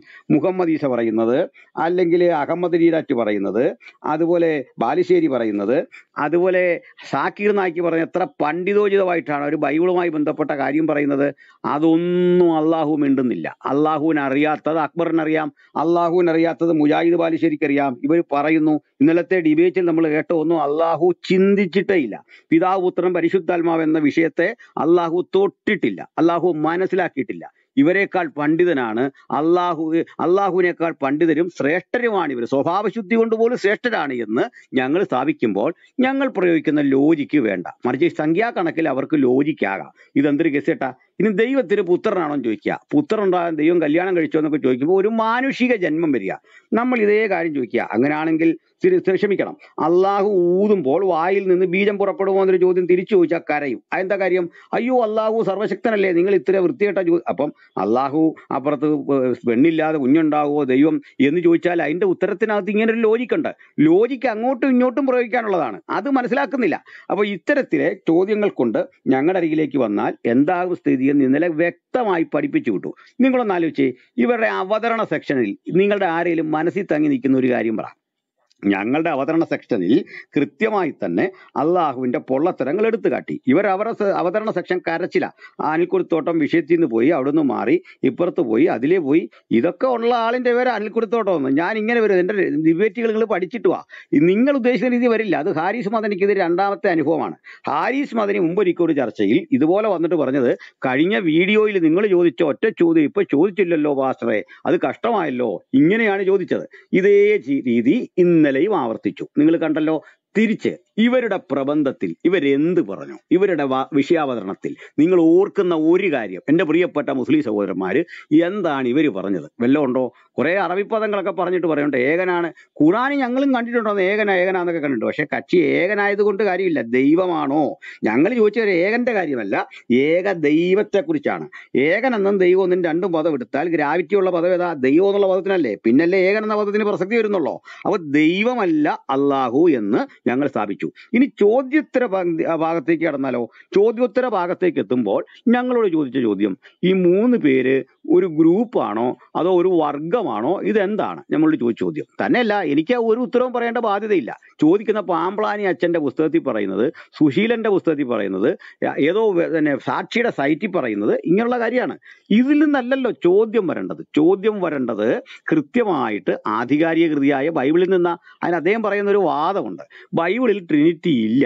അതുകൊണ്ട് ഞാൻ അതിൽ നിന്ന് ചോദിക്കുന്നേ ഇല്ല. ബൈബിളിൽ ട്രിനിറ്റി ഇല്ല എന്ന വാദം നമുക്ക് സാങ്കേതികമായിട്ട് അവിടെ നിൽക്കട്ടെ. മറുവശത്തൊരു വസ്തുത. ബൈബിളിലെ വാക്യങ്ങൾ ഉദ്ധരിച്ചല്ലേ ഞങ്ങൾ ട്രിനിറ്റി വ്യക്തമാക്കുന്നത് ആ വാക്യങ്ങൾ എടുത്തുകൊണ്ടെങ്കിലും വന്നിട്ട് അതിന് അർത്ഥമില്ലെന്ന് പറയണ്ടേ? അതുപോലും തയ്യാറാകുന്നില്ല. അടുത്തത് ഞാൻ അഖാദിനെ പറ്റി പിന്നെ പറയാമെന്ന് പറഞ്ഞു പറഞ്ഞില്ല. ഞാൻ രണ്ടാമത് ഓർപ്പിച്ചു. നിങ്ങൾ പറയൂ. അപ്പോഴാ പറഞ്ഞത് ഏകവചനത്തിൽ ഉപയോഗിച്ചിട്ടുണ്ട്. ഏകവചനത്തിൽ ഉപയോഗിച്ചിട്ടുണ്ടെന്ന് ആര് പറഞ്ഞു? ബഹുവചനത്തിൽ ഉപയോഗിക്കുമ്പോൾ അവസാനം വരുന്ന പദത്തെ കണ്ടിട്ടാണ് whether it is plural or singular എന്ന് കാണുന്നത്. ഒരു ഉദാഹരണം ഏലോഹിമിനെ പറ്റി ഞാൻ പറഞ്ഞു. അടുത്തത് ഏൽ ദൈവത്തെ പറ്റി പറഞ്ഞു. ഏൽ കനാനിയുടെ ദൈവമാണ് പുള്ളിക്ക് അങ്ങനെ ഉണ്ട് ഇങ്ങനെ ഉണ്ടെന്നല്ലോ ഞാൻ പറഞ്ഞു. നിങ്ങൾ പറയണം നിങ്ങൾ പറയാത്ത എന്റെ കുഴപ്പമാണോ അപ്പോൾ അദ്ദേഹം പറയുന്നത് ഇതിനകത്തൊരു വലിയ വിഷയമുണ്ട്. ഇവരെപ്പോഴും പറയാറുണ്ട് ഞങ്ങൾ ചില കാര്യം പറയുകയല്ല ഞങ്ങളുടെ ചില കാര്യം നിങ്ങളും പറയരുത്.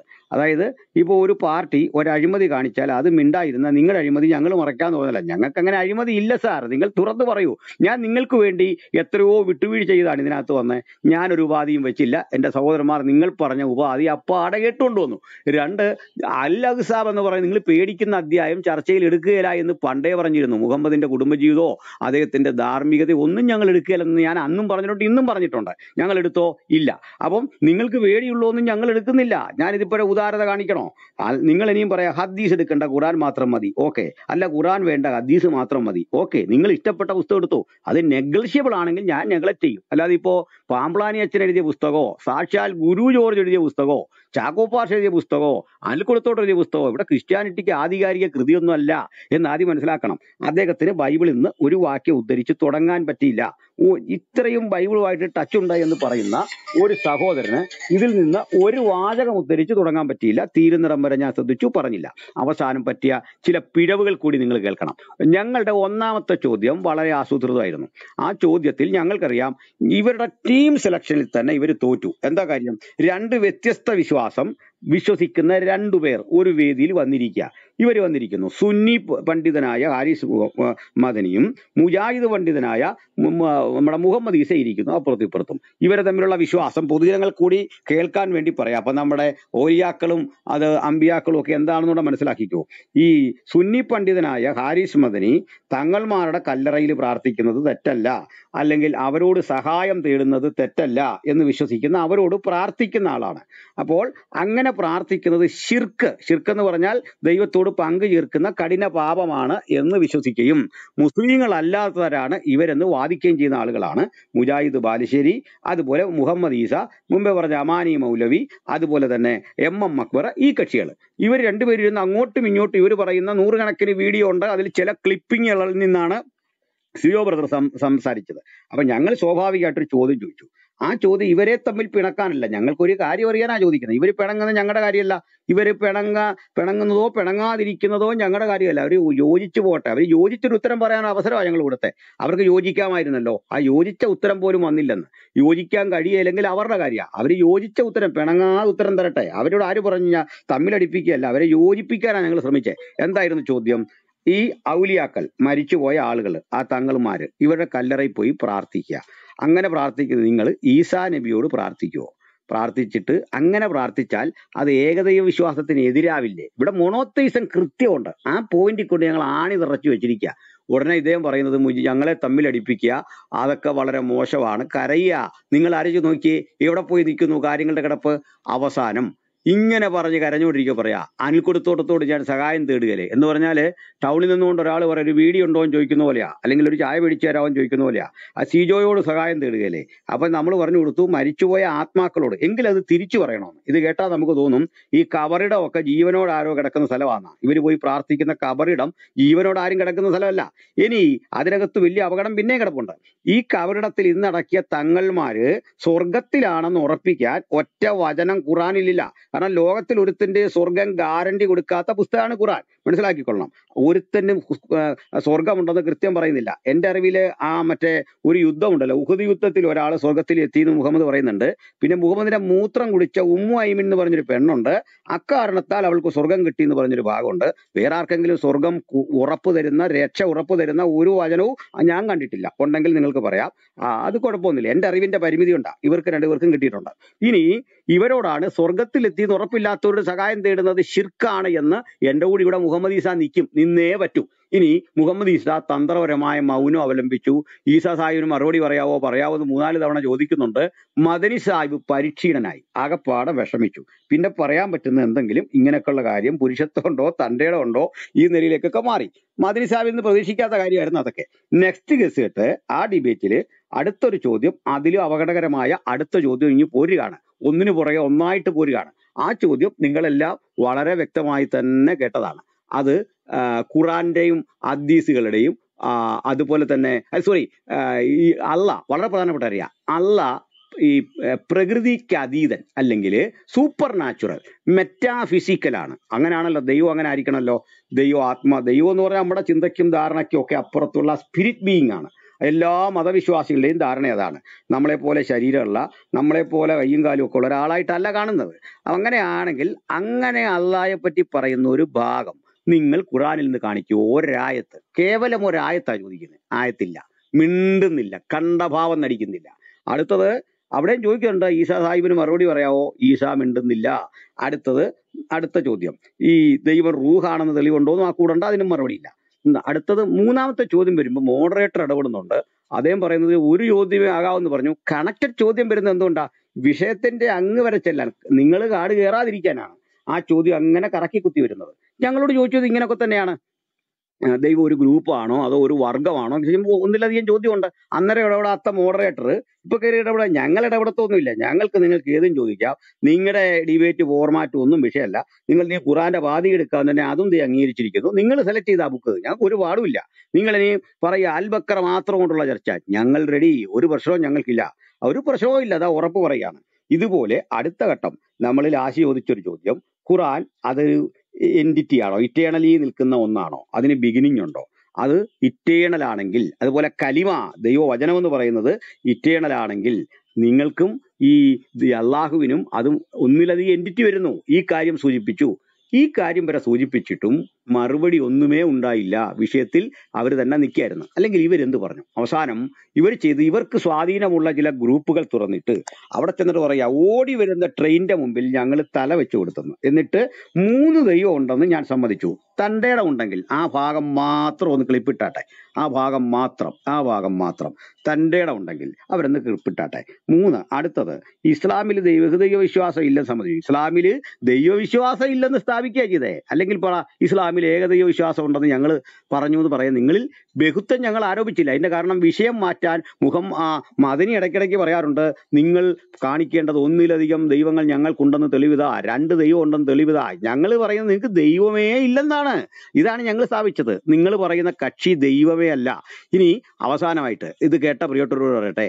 ഈ മുഹമ്മദ് ഇദ്ദേഹത്തെക്കാൾ കേവനാണെന്ന് ഞങ്ങൾ സ്ഥാപിച്ചു. ഇവർ മിണ്ടിയോ? എന്താ കാര്യം? ആദ്യഘട്ടം മുഹമ്മദ് കേവലം ഒരു താക്കീതുകാരൻ മാത്രം പാവത്താൻ കഴിവില്ല. അത് ഈ അത്ഭുതം കാണിക്കാൻ പറയുമ്പോഴേക്ക് ഇങ്ങനെ ചുരുങ്ങും. രണ്ടാം ഘട്ടം ഇവർ ഈക്വൽ ആകുന്നുണ്ട്. കാരണം അള്ളാഹു അവന്റെ റസൂലും ഒരു കാര്യം ആലോചിച്ചാൽ അള്ളാഹുവിന് എന്തിനാണ് റസൂലിനോട് ആലോചിക്കുന്നത്? പോസ്റ്റ്മാനും കത്തെഴുതുന്നവനും തമ്മിൽ ആലോചിക്കണോ? ദൂതൻ എന്ന് പറഞ്ഞാൽ ആരാ? കത്ത് കൊണ്ട് കൊടുക്കുന്ന ആളാണ്. ദൂത് കൊണ്ട് കൊടുക്കുന്ന ആളാണ്. ഞാനൊരു കത്ത് എഴുതിയിട്ട് പോസ്റ്റ് ഓഫീസിൽ കൊണ്ടുവരണേ പോസ്റ്റ്മാന്റെ ചിലവ് വേണോ? ആലോചിക്കണോ? കത്ത് കൊണ്ട് കൊടുക്കാൻ പറഞ്ഞാൽ അത്രേ ഉള്ളൂ. അതിന് ശമ്പളം തരും. അതേ ഉള്ളൂ. റസൂൽ അത്രേ ഉള്ളൂ. വേറെ ഒന്നും ബന്ധമൊന്നുമില്ല. യശയാവിനോട് ദൂത് പറയാൻ പറഞ്ഞാൽ ഞാൻ ഞാനൊന്ന് ആലോചിക്കട്ടെ എന്ന് പറയോ ബൈബിളിൽ? ഒരിക്കലും ഇല്ല. ആലോചന വേണ്ടെന്ന്. അള്ളാഹുവും അവന്റെ റസൂലും ഒരു കാര്യം ആലോചിച്ചു കഴിഞ്ഞാൽ സത്യവിശ്വാസിയായ ഒരു സ്ത്രീക്കാകട്ടെ ഒരു പുരുഷനാകട്ടെ അതിൽ നിന്ന് മാറാൻ പാടുള്ളതല്ല എന്ന് കൃത്യമായിട്ട് മുപ്പത്തിമൂന്ന് അൽ അഗസാബ് എന്ന് പറയുന്ന അധ്യായം അതിന്റെ മുപ്പത്തി ആറാമതെ വാചനത്തിൽ കിടക്കുന്നു ആയത്തിൽ കിടക്കുന്നു.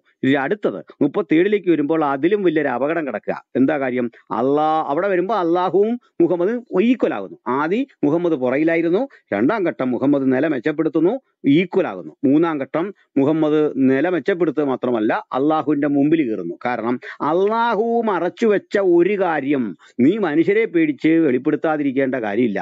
അള്ളാഹു മറച്ചു വെച്ച സാധനം കണ്ടുപിടിച്ച കേവന്റെ പേരാ മുഹമ്മദ്. ഇതേതല്ലേ കഴിവുട്ടിയാൾ ഇത്രയും ചോദിച്ചിട്ട് ഇതിലൊന്നും കുത്താതെ ഒരു വചനത്തിന് മറുപടി ഇനി പറയാൻ അവസരമുണ്ടോ? നിങ്ങൾ റൂം ഇട്ടിട്ട് മറുപടി പറ. നിങ്ങൾക്ക് ആണത്തം ഉണ്ടെന്ന് പറയാം. അതിന് ഉപയോഗിച്ച അതേ പദം. ആണത്തമുള്ളവൻ വേറൊരു റൂം ഇട്ടിട്ട് മറുപടി പറയുന്നേ. ഒന്നും മിണ്ടാതെ പോയിട്ട് വെറുതെ ഇങ്ങനെയൊക്കെയുള്ള നാണം കെട്ട വിധത്തിൽ സംസാരിക്കുക എന്റെ പ്രിയപ്പെട്ട സുഹൃത്തുക്കളെ അപകർഷതാബോധം ഉണ്ടെന്ന് ഞങ്ങൾ സമ്മതിച്ചു. ഇത്ര ഭീകരമാണെന്ന് കേൾക്കുന്നതിൽ നമുക്ക് നിങ്ങളെക്കുറിച്ച് ദുഃഖമുണ്ട്. കാരണം നിങ്ങൾ ഞങ്ങളുടെ സഹോദരന്മാരാണ്. നിങ്ങളോട് ഒരു വിരോധമില്ല. നിങ്ങൾ ചുമക്കുന്ന കിതാവിന്റെ ഗതികേടാണ്. നിങ്ങൾ ഏകനെന്ന് വിളിച്ചു പറയുന്ന ആൾ മനുഷ്യൻ ദൈവമല്ല മനുഷ്യനുമല്ല പിശാചുമല്ല പ്രാകൃതമായ ഏതോ ചിന്താമണ്ഡലത്തിൽ ഒരാൾക്ക് തോന്നിയ വെറും തോന്നൽ മാത്രമാണ്. ഒരു മനുഷ്യന്റെ സ്വാർത്ഥ താല്പര്യങ്ങൾ അദ്ദേഹത്തിന് കുറേ കല്യാണം കഴിക്കണം അദ്ദേഹത്തിന് കുറേ ഇങ്ങനെ കുറേ ഇഷ്ടങ്ങളുണ്ട്. അത് സാധിച്ചെടുക്കാൻ വേണ്ടി ക്രിയേറ്റ് ചെയ്ത ഒരു ഫേക്ക് ഐ ഡി മാത്രമാണെന്ന് ഇന്നലെ വളരെ കൃത്യം സ്ഥാപിച്ചു നിങ്ങൾ പോയിട്ട് തിരിച്ചു പറ. എന്തെങ്കിലും പറയാൻ പറ്റുമോ പറ്റിയില്ല. ഇതാണ് ഇന്നലെ എന്റെ ഭാഗത്തു നിന്നുള്ള ആ പ്രബന്ധത്തെക്കുറിച്ചുള്ള എന്റെ നിരീക്ഷണം. ഞാൻ തൽക്കാലം നിർത്തുന്നു. നിങ്ങളിലേക്ക് മോഡറേറ്റേഴ്സിലേക്ക് മൈക്ക് കൈമാറുന്നു. താങ്ക് യു അനിൽ സാറെ. ദൈവം അനുഗ്രഹിക്കട്ടെ. നമുക്ക് ഹലോ? ഒന്ന് ചോദിച്ചോട്ടെ? ആ ഒന്ന് ഒന്ന് വെയിറ്റ് വെയിറ്റ് വരുമ്പോൾ ആരാത്? ഞാൻ ഹാസ അന്നഹാസ ഒന്ന് വെയിറ്റ് ചെയ്യണം ഹാസ രാവിലെ മുതൽ പല ഗ്രൂപ്പുകളിലും ഇച്ചിരി ക്ഷീണമായാലും ഒന്ന് വെയിറ്റ് ചെയ്യും. നമ്മൾ നേരത്തെ വന്ന ഒന്ന് രണ്ട് പേർക്കും കൂടി കൊടുക്കട്ടെ. ഓക്കെ ബെഞ്ച് ബെഞ്ച് ബെഞ്ചമിൻ പാസ്റ്റർ കേൾക്കാമോ? കേൾക്കാം കേൾക്കാം. എന്നെ കേൾക്കാമല്ലോ നന്നായിട്ട് കേൾക്കാം. ഓക്കെ താങ്ക് യു സമയം നൽകിയതിന് നന്ദി. ഇന്നലെ മുതൽ എല്ലാവരും വളരെ സന്തോഷത്തിലാണ് ഞാനും വളരെ സന്തോഷത്തിലാണ്. കാരണം നല്ലൊരു ചർച്ച അവതരിപ്പിക്കാൻ നമ്മുടെ ഭാഗത്തു നിന്നും നമ്മുടെ ദേവദാസന്മാർക്ക് കഴിഞ്ഞു എന്നുള്ളത് വളരെ സന്തോഷവും ഹൃദയത്തിന് ആനന്ദകരവുമാണ്. അത് പ്രിയപ്പെട്ട അനിൽ കൊടുത്തോട്ടം പാസ്റ്റർക്കും ബ്രദർ സിജോയ്ക്കും കഴിഞ്ഞു എന്നുള്ളത് അഭിനന്ദനാർഹമാണ്. അതിന് അഭിനന്ദനം അറിയിക്കുന്നു. ഒപ്പം മോഡറേറ്ററായിരുന്ന ജോർജ് ബ്രദറും വളരെ മാന്യമായും വളരെ ശക്തിയുക്തമായും ഒക്കെ ഗ്രൂപ്പിൽ ഇടപെട്ടുകൊണ്ട് മോഡറേറ്റ് ചെയ്യുവാൻ വേണ്ടി ശ്രമിച്ചു. നിങ്ങൾക്ക് എല്ലാവർക്കും ആശംസ അറിയിച്ചുകൊണ്ട് ഇന്നലെ നടന്ന ഈ ചർച്ചയെ ഈ ചർച്ചയെ ഞാനൊന്ന് അവലോകനം ചെയ്യുന്ന ഒരു ചെറിയൊരു കവിതയാക്കി ഇന്നലെ എഴുതിയതിൽ നിന്നും ചില വരികളോട് ചെന്നിട്ട് ഓക്കെ. പറഞ്ഞോളൂ പറഞ്ഞോളൂ. ഇടയ്ക്കൊന്നും കേട്ടില്ല. ആ ഇവിടെ ഇച്ചിരി നെറ്റിന് പ്രശ്നമുണ്ടെന്ന് തോന്നുന്നു. ഓക്കെ. അപ്പൊ ഞാൻ ഇന്നലെ ഒരു ഇപ്പൊ കേക്കാമോ? നന്നായി കേൾക്കാം ഓക്കെ. ആ അതിനെ ആ ആശയത്തെ കൂട്ടിയിണക്കിക്കൊണ്ട് ഒരു ചെറിയൊരു കവിത ഉണ്ടാക്കിയിട്ടുണ്ട്. ആ കവിത ഞാനൊന്ന് ചൊല്ലുകയാണ്. ദയവായിട്ട് മറുപക്ഷത്തിലുള്ള ആർക്കും പൊട്ടരുതേ എന്നൊരു അപേക്ഷയോടുകൂടി ഞാൻ എന്റെ കവിത നിങ്ങൾക്ക് വേണ്ടി അവതരിപ്പിക്കാം.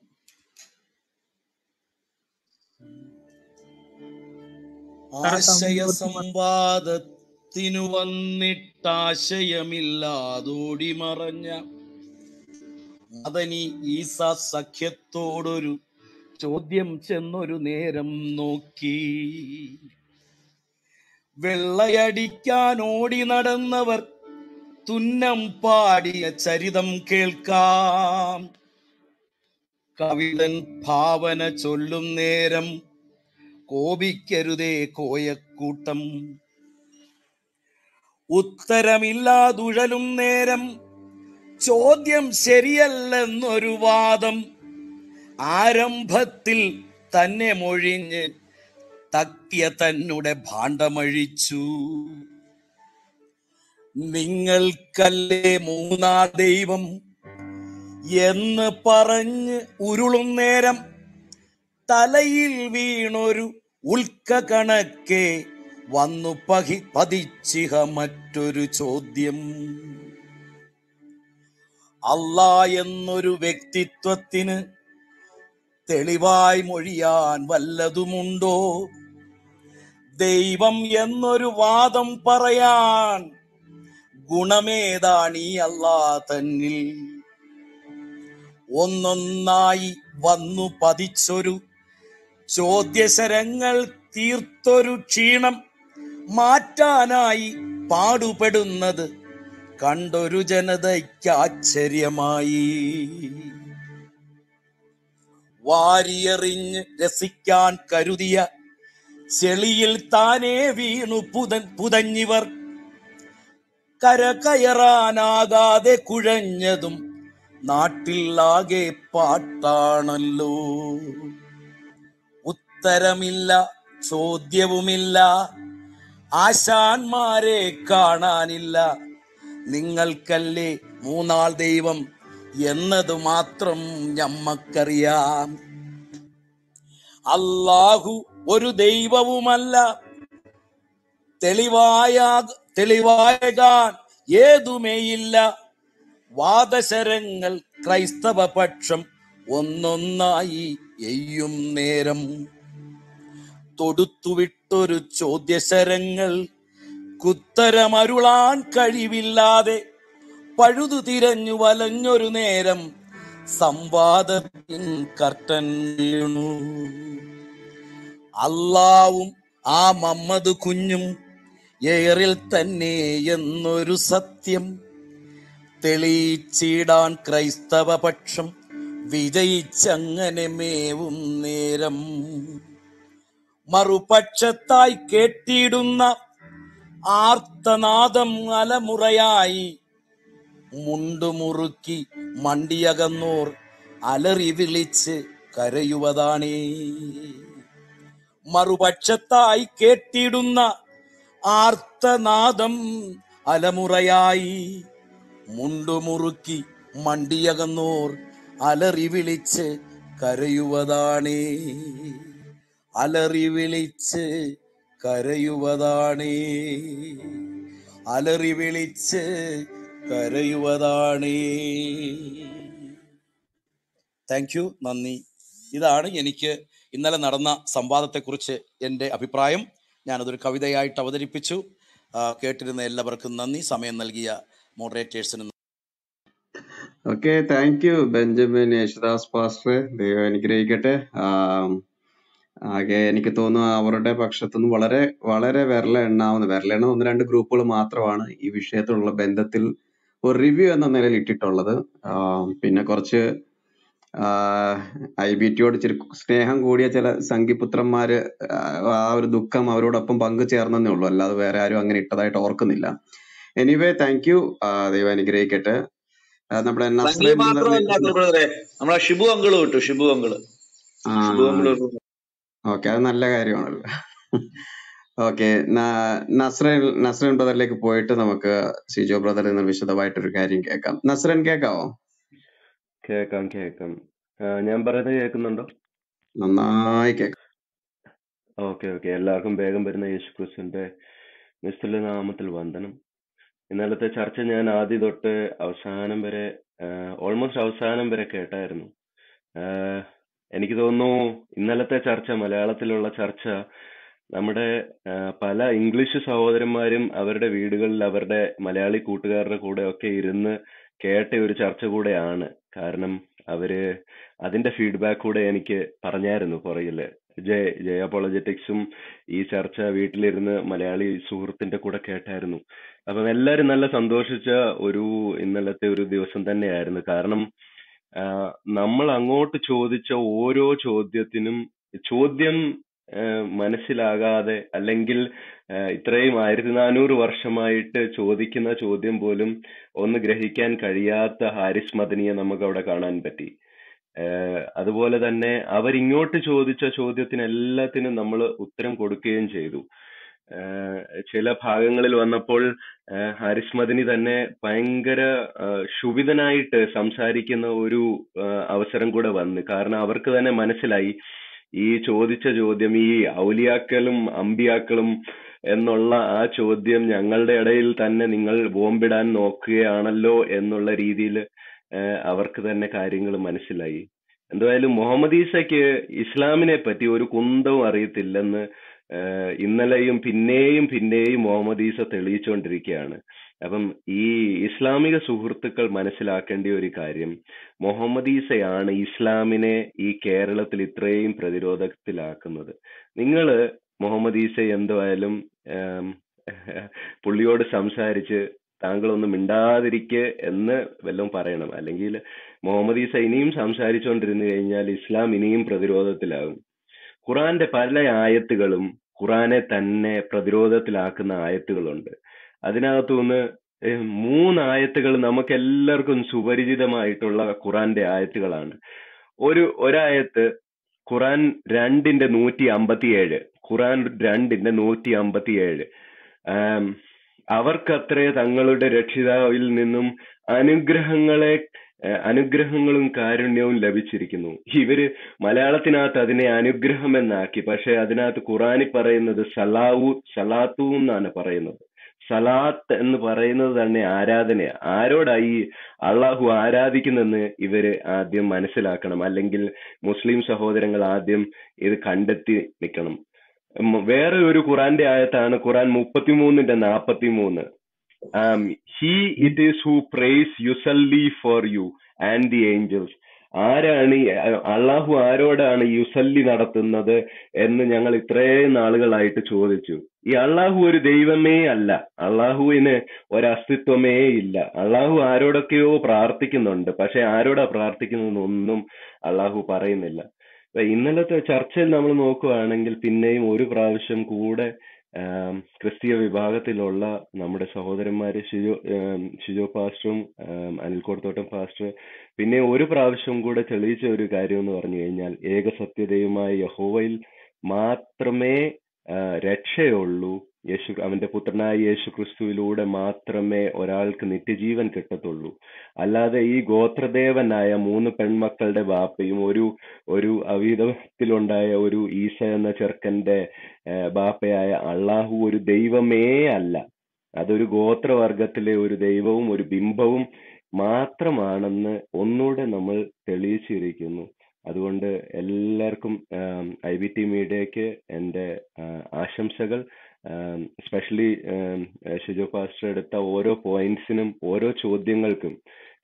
ജോൺ ഓഫ് ഡെമസ്കസ് ചോദിച്ചിരുന്ന ആ ചോദ്യം തന്നെ ഷിജു പാസ്റ്റർ ഒന്നുകൂടെ എടുത്തിട്ടപ്പം ബബബ അടിച്ച ഹാരിസ് മദനി നമുക്ക് കാണാൻ പറ്റി. അപ്പം ഓരോ ചോദ്യം നല്ലപോലെ തന്നെ ചോദിച്ചു. അതിന് നന്ദി.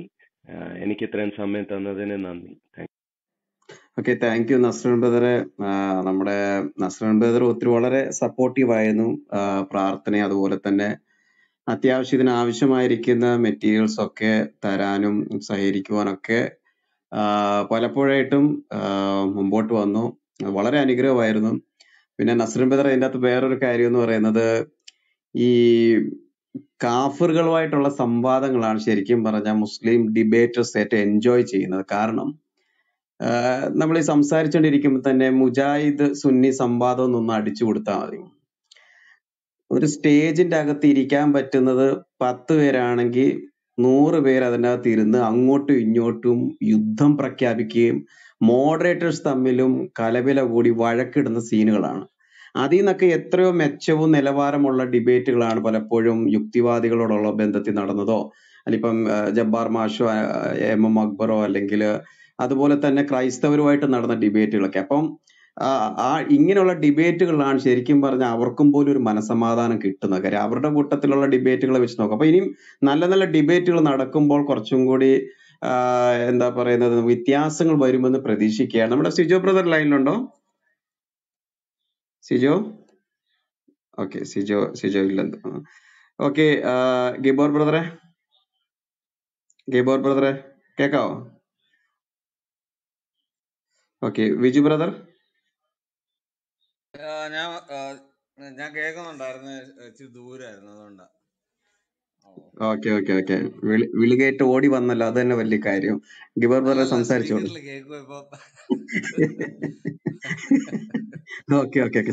ഇത്ര ഇൻട്രസ്റ്റ് അല്ല ഇൻട്രസ്റ്റിംഗ് ആയിട്ടുള്ള കാര്യങ്ങൾ സംസാരിക്കുകയും ഇന്നലത്തുള്ള ആ ഡിബേറ്റുകൾ കംപ്ലീറ്റ് കേൾക്കുകയും ചെയ്ത്. അപ്പൊ തീർച്ചയായിട്ടും ആ ഒരു എക്സൈറ്റ്മെന്റ് ഉണ്ട്. ഇന്നലെ നടന്ന ഡിബേറ്റ് ഡെഫിനറ്റ്ലി ഒരു നല്ല ഒരു ഡിബേറ്റ് ആയിരുന്നു. ഒരു ആബ്സലൂട്ട്ലി ഒരു സിവിൽ ഡിബേറ്റ് നടന്നു. അത് ഇങ്ങനെ ക്ലബ് ഹൗസിൽ നടക്കുന്നത് ആദ്യമായിട്ടാണെന്ന് തോന്നുന്നു. കാരണം എന്ന് പറഞ്ഞാൽ ഇങ്ങനെ ഇത്രയും ഒരു സിവിലായിട്ട് ജസ്റ്റ് ഒരു ഒരു ഫ്രാക്ഷൻ ഓഫ് സെക്കൻഡിലുള്ള പക്ഷെ ഞാൻ ഇസ്ലാമിക ക്രിസ്ത്യൻ ഡിബേറ്റുകൾ ഈ വെസ്റ്റിൽ നടന്ന ഒത്തിരി ഡിബേറ്റുകളുണ്ട് പലരുമായിട്ട് ഡേവിഡ് വുഡുമായിട്ട് സാം ഷമോണുമായിട്ട് ഷബീർ അലിയായിട്ട് ജെ സ്മിത്തുമായിട്ട് അതിലെല്ലാം ഇവർ ഇവരുടെ ഡിബേറ്റിലെല്ലാം ഇവർ പരാജയപ്പെടുന്നത് കണ്ടിട്ടുള്ളൂ. കാരണം എന്ന് പറഞ്ഞാൽ they just don't have any material അത് വളരെ ക്ലിയർ ആണ്. പിന്നെ അത് ഡിബേറ്റിൽ അവർ തോറ്റു കഴിഞ്ഞാലും അത് ഒരു ഡിഫീറ്റ് ആണെങ്കിൽ പോലും അവർ പ്രൊക്ലെയിം ചെയ്യുന്ന എന്ന് പറഞ്ഞാൽ അവർ വിജയിച്ചു എന്നുള്ള രീതിയിലാണ്. പക്ഷെ അവർ ഒരു മാസ് ക്രൗഡ് അത് കേൾക്കുന്നുണ്ട് അതിൽ നിന്നും ഗ്രഹിക്കുന്നുണ്ടെന്നുള്ള കാര്യം ഇവർ മനസ്സിലാക്കുന്ന ഏറ്റവും വലിയൊരു ഇസ്ലാമിന്റെ ഭയങ്കര ഫെയിലിയർ എന്നുള്ളതാണ് ഇവർ പാസ്റ്റർ പറഞ്ഞ പോലെ എപ്പോഴും എക്സ്പെക്ട് ചെയ്യുന്നതെന്ന് പറഞ്ഞാൽ ഇവർ പ്രിസ്ക്രൈബ് ചെയ്യുന്നതും ഇവർ ഉദ്ദേശിക്കുന്ന രൂപത്തിലും ക്രിസ്ത്യൻ ഡിബേറ്റേഴ്സ് അറ്റാക്ക് ചെയ്യും അല്ലെങ്കിൽ അതിനെ ഡെമോൺസ്ട്രേറ്റ് ചെയ്യുമെന്ന് എക്സ്പെക്ട് ചെയ്തിരിക്കുമ്പോൾ വി ഓൾവേസ് ഹാവ് നമുക്ക് ഏത് കാര്യത്തിലും വെയിറ്റേജ് കൂടുതലാണ്. ഇനി സ്ക്രിപ്ചറിലാണെങ്കിലും ഹിസ്റ്റോറിക്കലാണെങ്കിലും എല്ലാ രീതിയിലും നമുക്ക് അപ്പർ ഹാൻഡ് ഏത് സമയത്തും ഉണ്ടെന്നുള്ള കാര്യം അതിൽ സെൻസിബിൾ ആയിട്ടുള്ള ഇസ്ലാമിക സ്കോളേഴ്സിനെല്ലാം അറിയാം. അവരൊരിക്കലും ഡിബേറ്റിന് വരത്തില്ല. അവർ എപ്പോഴും ഒരു അണ്ടർഗ്രൗണ്ട് ഒരു അവരുടെ പ്രഭാഷണമായിട്ട് അവർ പോകത്തേ ഉള്ളൂ. അല്ലാതെ അവർ they will never come on face to face with anybody ഇന്നലെ നടന്ന ഡിബേറ്റിൽ അത് ആ ഫസ്റ്റ് ഹാഫ് ആൻ അവറിൽ ഇത് കഴിഞ്ഞപ്പോഴേ ഞാൻ പറഞ്ഞു ഇത് ഒരു വൺ സൈഡ് ഡിബേറ്റ് തന്നെയാണ് ദിസ് ഈസ് ഓൾമോസ്റ്റ് ഓവർ അപ്പം തന്നെ ഞാൻ ബറോസ് ബ്രദറിന്റെ അടുത്ത് പറയുന്നുണ്ട് നമുക്ക് ജസ്റ്റ് ഇതിന്റെ ടൈം കഴിയുമ്പോഴത്തേ നമുക്കൊരു ക്ലബ് ഇട്ട് ഇതിനെ ഒരു ഇത് ചെയ്യണം അവലോകനം ചെയ്യണമെന്ന് പറഞ്ഞു. അപ്പം ബറോസ് ബ്രദർ നമുക്ക് we can just wait and watch എന്ന് പറഞ്ഞു. But the way things as took place എങ്ങനെ പാസ്റ്റർ യഥാർത്ഥത്തിൽ നമുക്ക് അള്ളാഹു ഏകദൈവം എന്ന് തെളിയിക്കേണ്ട ഒരു ആവശ്യമില്ല that is not our duty അള്ളാഹു എന്ന് പറയുന്നത് ഒരു pagan ഗോഡാണ് that is historically we can proof scripturally we can proof and we can proof in a geographical ആ സമയത്തുള്ള അറബ് കൾച്ചർ അനുസരിച്ച് നമുക്ക് പ്രൂവ് ചെയ്യാൻ കഴിയുന്ന കേസ് കെട്ടുകളേ ഉള്ളൂ. So they just can't survive അതിന് വെച്ചിട്ട് അവർക്ക് യാതൊരു കാരണവശാലും സർവൈവ് ചെയ്യാൻ പറ്റത്തില്ല. കാരണം എന്ന് പറഞ്ഞാൽ ഇസ്ലാം എന്ന് ഏറ്റവും കൂടുതൽ ഭീതിപ്പെടുത്തുന്നുള്ള അവരുടെ ജോഗ്രഫിയാണ് ലിറ്ററേച്ചറിനെക്കാട്ടിൽ ലിറ്ററേച്ചറിനെ അവരെ എങ്ങനെയെങ്കിലും ഒരു തരത്തിൽ പിടിച്ചു നിർത്താമെങ്കിലും they just can't balance with the historical evidences historical absence of എവിഡൻസും ഭയങ്കര പ്രശ്നമാണ്. കാരണം എന്ന് പറഞ്ഞപ്പോൾ മെക്കയാന്നേലും അങ്ങനെയുള്ള രീതിയിലൊക്കെ.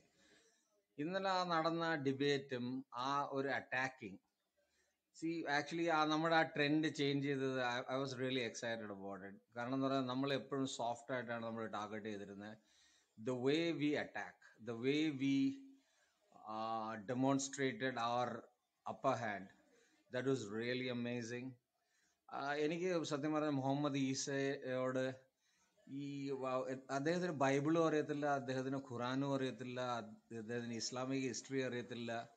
He got only one quality like he just just talk very softly to prove he is a brilliant person. ആ രീതിയിൽ മാത്രം സംസാരിക്കാനുള്ള ഒരു കഴിവുള്ള വ്യക്തി എന്നല്ലാതെ ഹി ഡസൻ നോ എനിത്തിങ് അദ്ദേഹത്തിന്റെ വീഡിയോ കണ്ടാലും ഒരു ഒരു ഒരു ഇൻഫർമേഷൻസ് ഇല്ല. We don't get any message even ഡിബേറ്റുകളും എന്തുമാത്രം ഡിബേറ്റ് ചെയ്തതെന്ന് എനിക്കറിയത്തില്ല. But whatever the debate which I have seen he doesn't have any upper hand any capacity ഒരു ഡിബേറ്ററിന്റെതായ ഒരു ലെവലിൽ നിൽക്കാൻ ഒരു ഒരു ഒരു കാരണവശാലും നിൽക്കാനുള്ള ഒരു ഒരു കപ്പാസിറ്റിയോ ഒരു ഒരു എന്ത് പറയുന്ന ഒരു എഡ്യൂക്കേഷണൽ ഒരു അക്കാഡമിക് ഒരു ഒരു സൗണ്ട്നെസ്സോ ഒന്നും തന്നെ ഇല്ലാത്തൊരു വ്യക്തിയാണ് പക്ഷെ ഇസ്ലാമിക ലോകം ഇങ്ങനെ ഇത്രയ്ക്ക് മാത്രം പൊക്കിക്കൊണ്ട് നടക്കാനുള്ള ആ ഒരു talent എന്തുണ്ടെന്ന് there is a question mark which I'm putting right no right over the and the debate was excellent actually it was a really a great bash ആ അത് എനിക്ക് ഭയങ്കരമായിട്ട് വേ ഷിജോ ബ്രദറും ഒക്കെ ചോദിച്ച ചോദ്യങ്ങളെ ഇവർ ഇവർക്ക് അഡ്രസ് ചെയ്യാൻ കഴിയുന്നില്ല. അത് ഇസ്ലാമിക ലോകത്തിന് കഴിയത്തുമില്ല. That was one of the biggest tragedy amazing debate ഞാൻ പ്രതീക്ഷിക്കുന്ന ഇനിയും ഒരു ഒരു സെക്കൻഡ് റൗണ്ട് അല്ലെങ്കിൽ ഒരു തേർഡ് റൗണ്ട് ഡിബേറ്റുകൾ ഇനി നടക്കണം. അന്നേരം ആൾക്കാർക്ക് മനസ്സിലാവത്തുള്ളൂ where these people are lacking thank you so much moderator yeah thank you Gibor ബ്രദറെ തീർച്ചയായിട്ടും രണ്ടാമത്തെ ഒരു ഡിബേറ്റിന്റെ ഡിസ്കഷനിലേക്ക് പോകേണ്ട സമയമാണ്. കാര്യം ഞങ്ങൾ ഓൾറെഡി കൗണ്ടർ പോയിന്റുമായിട്ട് ഈ ഡിബേറ്റ് കഴിഞ്ഞതിന് ശേഷം ആദ്യത്തെ ഡിബേറ്റ് അവരുടെ ഇഷ്ടപ്രകാരം അവർ താല്പര്യപ്പെട്ട ടോപ്പിക് ആണെങ്കിൽ രണ്ടാമത്തെ ടോപ്പിക് നമ്മുടെ ഇഷ്ടപ്രകാരം നടത്തണമെന്ന് പറഞ്ഞിട്ടുണ്ട്. ആ വിഷയം വരും ദിവസങ്ങൾ ഡിസ്കസ് ചെയ്യാം. നല്ല ഡിബേറ്റുകൾ നടക്കട്ടെ. കൂടുതൽ ഡിബേറ്റുകൾ നടക്കുമ്പോഴേ കൂടുതൽ കാര്യങ്ങൾ പഠിക്കുവാനും ആയിരക്കണക്കിന് പേർക്ക് അത് കേൾക്കുവാനും മനസ്സിലാക്കുവാനും കഴിയുമല്ലോ. തീർച്ചയായിട്ടും അത് നടക്കുമെന്ന് പ്രതീക്ഷിക്കുന്നു. ഓക്കെ സിജോ ബ്രദർ ലൈനിലുണ്ടോ? സിജോ? ഉണ്ട് ഉണ്ട്. ഓക്കെ ബാത് കറോ ഏ? ബാത് കറോ സംസാരിച്ചോളൂ. സംസാരിക്കാം. എല്ലാവരുടെയും പ്രാർത്ഥനയ്ക്ക് ആദ്യമായിട്ട് നന്ദി പറയുകയാണ്. വളരെ അനുഗ്രഹിക്കപ്പെട്ട നിലയിൽ നന്നായി ചെയ്യുവാൻ കർത്താവ് സഹായിച്ചു. എല്ലാ മഹത്വവും കർത്താവിനാണ്. നമ്മുടെ പ്രത്യാശയ്ക്ക് ന്യായം പറയുവാൻ ദൈവം നമുക്ക് ബലം നൽകി. ഇതിന്റെ പിറകിൽ ഒരുപാട് അധ്വാനങ്ങളുണ്ട്. നമ്മുടെ ഗുരുജിയോ ബ്രദർ ഞാൻ കണ്ടതിനേക്കാളും കൂടുതൽ സുന്നി മുജാഹിദ് സംവാദങ്ങൾ കണ്ട് രാത്രി അത് സ്വപ്നം കണ്ടു എന്നുള്ളതാണ് ഞാൻ അറിഞ്ഞത്. സുന്നി മുജാഹിദ് സംവാദങ്ങൾ കണ്ട്. രാത്രി മൂന്ന് മണി രണ്ട് മണിക്കൊക്കെയാണ് ഇന്ന സംഭവങ്ങൾ ഇന്നത് എന്ന് പറഞ്ഞ് എനിക്ക് മെസ്സേജുകളൊക്കെ അയക്കുന്നത്. അപ്പൊ അങ്ങനെ ഒരുപാട് അത്യധ്വാനം നടന്നിട്ടുണ്ട്. ചാക്കോ പാസ് അനിൽ പാസ് ഒക്കെ ഒരുപാട് കാര്യങ്ങൾ കൊടുത്തു എന്ന് പറഞ്ഞു. അത്തരത്തിലുള്ള ഒരു കൂട്ടായിട്ടുള്ള ഒരു ഒരു കമ്പൈൻ വർക്കാണ് ഇതിൽ നടന്നത്. ആ കൂട്ടായ്മയുടെ ഫലം ഉണ്ടാകുകയും ചെയ്തു. അങ്ങനെ ഒരു കൂട്ടായ്മ ഐ ബി ടി ഞങ്ങളെല്ലാവരും ഇങ്ങനെ ചേർന്ന് നിൽക്കുന്നതിന്റെ ഒരു കാരണം. നമ്മുടെ പ്രത്യാശയ്ക്ക് ന്യായവാദം ന്യായം പറയുവാൻ നമുക്ക് കഴിയണം. നമ്മുടെ വിശ്വാസത്തിന്റെ നമ്മുടെ കർത്ത വിശ്വാസത്തെ ഉയർത്തുവാൻ നമുക്ക് കഴിയണം. അത് ഏറ്റവും നന്നായി തന്നെ ചെയ്യുവാൻ കർത്താവ് നമ്മെ സഹായിച്ചു. അതിന്റെ ഒരു പ്രസന്റേഷനിലേക്ക് വരുവാണെങ്കിൽ അപ്പം ഞങ്ങൾ പല ഘട്ടങ്ങളിലായിട്ട് ഇങ്ങനെ ചർച്ചകളും ഫോൺ വിളിയിലൂടെ അല്ലാതെയൊക്കെ നടത്തി. അവസാന ദിവസത്തിൽ രാവിലെ മുതൽ അനിപ്പാസ്റ്റർ ഞാനും ഇങ്ങനെ ഒരുമിച്ച് കൂടി നല്ലൊരു പേപ്പർ ഞങ്ങളുടെ രണ്ടുപേരുടെയും കയ്യിലുണ്ടായിരുന്നു. വിശാലമായ നോട്ട് ഉണ്ടായിരുന്നു. തൗഹീദ് ട്രിനിറ്റി. അങ്ങനെ വ്യത്യസ്തമായ എക്കാത് യാക്കീത് അങ്ങനെയുള്ള പദങ്ങളെ കുറിച്ച് പോലുമുള്ള നല്ല നോട്ടുകൾ ഉണ്ടായിരുന്നു എലോഹിം അങ്ങനെ എല്ലാം ഞാൻ അവസാനം അൽഫാസിനോട് പറഞ്ഞു ഇതെല്ലാം പറയാൻ സമയം കിട്ടൂല സുജി അതൊക്കെ അവിടെ വേണം. പറഞ്ഞു. അപ്പൊ അങ്ങനെയുള്ള ഒരുപാട് കാര്യങ്ങൾ ഉണ്ടായിരുന്നു നീ ഞാൻ പറയുന്നത് എന്നാന്ന് പറഞ്ഞ ഈ അള്ളാഹുവിന് ചരിത്രം അറിയത്തില്ല എന്നുള്ള കാര്യങ്ങളൊക്കെ നമ്മൾ നമ്മുടെ ചിന്തയിൽ ഉണ്ടായിരുന്ന കാര്യമാണെങ്കിൽ അതിന്റെ പോയിന്റുകളൊക്കെ അവസാനം ആഡ് ചെയ്തിട്ടുള്ള കാര്യമാണ്. അള്ളാഹുവിന്റെ അള്ളാഹുവിന് ചരിത്രം അറിയില്ല എന്നുള്ള കാര്യമൊക്കെ. അനിൽ സാറോട് പറഞ്ഞ പോലെ ഈ മോണോത്തൈസം ആണല്ലോ ആയിരുന്നല്ലോ നമ്മുടെ വിഷയം. മോണോത്തൈസത്തിലെ ഈ കാര്യങ്ങളൊക്കെ കൃത്യമായിട്ട് എന്താണ് അള്ളാഹു എന്നുള്ളത് നമ്മൾ എക്സ്പോസ് ചെയ്തു. നമ്മുടെ വിഷയം നമ്മൾ പറഞ്ഞില്ലേ നന്നായിട്ട്. സത്യത്തിൽ ഇന്നൊരു സഹോദരൻ എനിക്ക് മെസ്സേജ് വിട്ടു. ഇങ്ങനെ ഞാൻ വായിച്ചു അല്ലാതെ ചിരിച്ചു. അതെന്നാന്ന് പറഞ്ഞാൽ മെസ്സേജ് വിട്ടത് ഇങ്ങനെയാണ്. ഈസ പറയുന്നു അനിൽ പാർസും ഞാനും കാട് കയറിയെന്ന്. ശരിയാണ് നിങ്ങൾ കാട് കയറി വെട്ടി തെളിച്ചു മദനി സാഹിബിനും അതുപോലെ തന്നെ ഈസയ്ക്ക് എല്ലാം കഴിഞ്ഞപ്പോഴാണ് ഒരു തിരിച്ചറിവ് ഉണ്ടായത് തങ്ങൾ മരുഭൂമിയിലാണെന്ന്. സത്യത്തിൽ എനിക്ക് അങ്ങനെയാണ് മനസ്സിലായത്. എന്ന് പറഞ്ഞാൽ വിഷയാവതരണം കഴിഞ്ഞ് ആ വിഷയാവതരണം കഴിഞ്ഞു കഴിഞ്ഞപ്പോൾ അവരുടെ കോൺഫിഡൻസ് അത് കുറഞ്ഞു. എന്താണ് ഇനി പറയേണ്ടതെന്നൊരു അവസ്ഥയിലേക്ക് അവരെത്തി. ആദ്യത്തെ അത് കഴിഞ്ഞ് ഈസയുടെയും മദനി സാഹിബിന്റെയും ഒക്കെ ഈ വിഷയാവതരണം കഴിഞ്ഞ് ഫസ്റ്റ് റിബട്ടലിലേക്ക് വന്നപ്പോൾ എനിക്കത് മനസ്സിലായി. നമ്മൾ വളരെ ഈസി ആയിട്ടാണ് അവരെ റിബട്ടൽ ചെയ്തത്. അവിടെ ആ സമയത്ത് ഈസ മുന്നോട്ട് വെച്ച വാദത്തേക്ക് വളരെ കൃത്യമായിട്ടാണ് നമ്മൾ പറഞ്ഞത്. എന്താണ് പറഞ്ഞത്? ജൂവിഷ് സ്കോളേഴ്സിനെ കൂടി മുൻനിർത്തിയാണ് നമ്മൾ പറഞ്ഞത്. പഴയ നിയമത്തിൽ എന്താണ്? മൊണോത്തയിസം എന്ന് കൃത്യമായിട്ട് പറഞ്ഞു. എന്ന് പറഞ്ഞിട്ടാണ് ഞാൻ പുതിയ നിയമത്തിലേക്ക് കയറിയത്. എന്നിട്ടാണ് പറഞ്ഞത് അള്ളാഹു ഏകനാണെന്നുള്ള കാര്യത്തിൽ നമുക്ക് ഖുറാൻ അങ്ങനെ പറയുന്നുണ്ടെന്നുള്ള കാര്യത്തിൽ നമുക്ക് സംശയമില്ല. പക്ഷെ ഈ അള്ളാഹു ബൈബിൾ പറയുന്ന വിശ്വാസത്തെ ഒരിക്കലും എതിർക്കുന്നില്ല എന്നാണ് പറഞ്ഞത്. എന്ന് മാത്രമല്ല അള്ളാഹു ഏകനാണ് ഏക ദൈവമാണെന്ന് നിങ്ങൾ പറയുമ്പോൾ അത് ഒന്നിലധികം പേഴ്സൺ അവിടെ ഉണ്ടോ ഇല്ലയോ എന്നുള്ള കാര്യവും പറയുന്നില്ല എന്ന കാര്യം പറഞ്ഞു. അതിനൊന്നും മറുപടി പറഞ്ഞില്ല. അതിനൊന്നും മറുപടി പറയാതെയാണ് അടുത്ത ഘട്ടത്തിലേക്ക് പോയത്. അപ്പം അവിടെ തുടങ്ങി ഇവരുടെ ഇടയിൽ കൺഫ്യൂഷൻ വന്നു. ഞാൻ മനസ്സിലാക്കുന്നിടത്തോളം. ഇനിയിപ്പോ ആര് പറയും? എന്ത് പറയും? എന്നുള്ളൊരു ചിന്തയിലേക്ക് വന്നു. സെക്കൻഡ് റിവട്ടൽ കഴിഞ്ഞ് തേർഡ് റിവട്ടൽ കഴിഞ്ഞതോടെ അതൊരു പതനത്തിലേക്ക് കംപ്ലീറ്റ് ആയിട്ട് എത്തി. ആ ബാ ആ എന്താണ് ആ ബാറ്റൺ നമ്മുടെ കയ്യിൽ കംപ്ലീറ്റ് ആയിട്ട് എത്തി എന്നുള്ളതാണ് ഞാൻ ചിന്തിക്കുന്നത്. ചോദ്യോത്തര സെഷനിലേക്ക് വന്നു കഴിഞ്ഞപ്പോൾ അത് നമ്മൾ കൊടു പറഞ്ഞ മൂന്ന് ചോദ്യങ്ങളും സത്യത്തിൽ മദിനി സാഹിബിന് എന്താണ് മനസ്സിലായിട്ട് പോലും ഇല്ല എന്നുള്ളതാണ് ഞാൻ മനസ്സിലാക്കുന്നത്. എന്താണ് ചോദിച്ചത് എന്നുള്ളത് അദ്ദേഹത്തിന് മനസ്സിലായില്ല. ഈ ഔലിയാക്കളുടെയും അമ്പിയാക്കളുടെയും തങ്ങൾമാരുടെയും കാര്യം വന്നത് അദ്ദേഹത്തെ വല്ലാതൊരു വിഷമവൃത്തത്തിലേക്ക് കൊണ്ടുവന്നു മദിനി സാഹിബിനെ ഈസയാണ് എന്ത് ചെയ്യണമെന്നൊരവസ്ഥയിലേക്കും വന്നിട്ടുണ്ട്. ഇതാണ് ഇതിന്റെ ഇടയ്ക്ക് സംഭവിച്ചിട്ടുള്ളത്. അതുകൊണ്ട് ആ ചോദ്യങ്ങളെ എങ്ങനെ അഡ്രസ്സ് ചെയ്യണം എന്നുള്ളത് വല്ലാത്തൊരു കൺഫ്യൂഷനിലേക്ക് അവർ രണ്ടുപേരും വന്നു കഴിഞ്ഞു. അവിടെ പൂർണമായി. പിന്നെ മുന്നോട്ട് ഒരു വഴിയും അവരുടെ മുമ്പിൽ ഇല്ല. അപ്പൊ ഇതാണ് ഇന്നലത്തെ ഈ സംവാദത്തിൽ ശരിക്കും പറഞ്ഞാൽ സംഭവിച്ചത്. അവിടെ നമുക്ക് നമ്മുടെ വിശ്വാസം കൃത്യമായിട്ട് പറയാൻ പറ്റി. വളരെ കൃത്യമായിട്ട് നമ്മൾ നമ്മുടെ വിശ്വാസം പറഞ്ഞിട്ടുണ്ട്.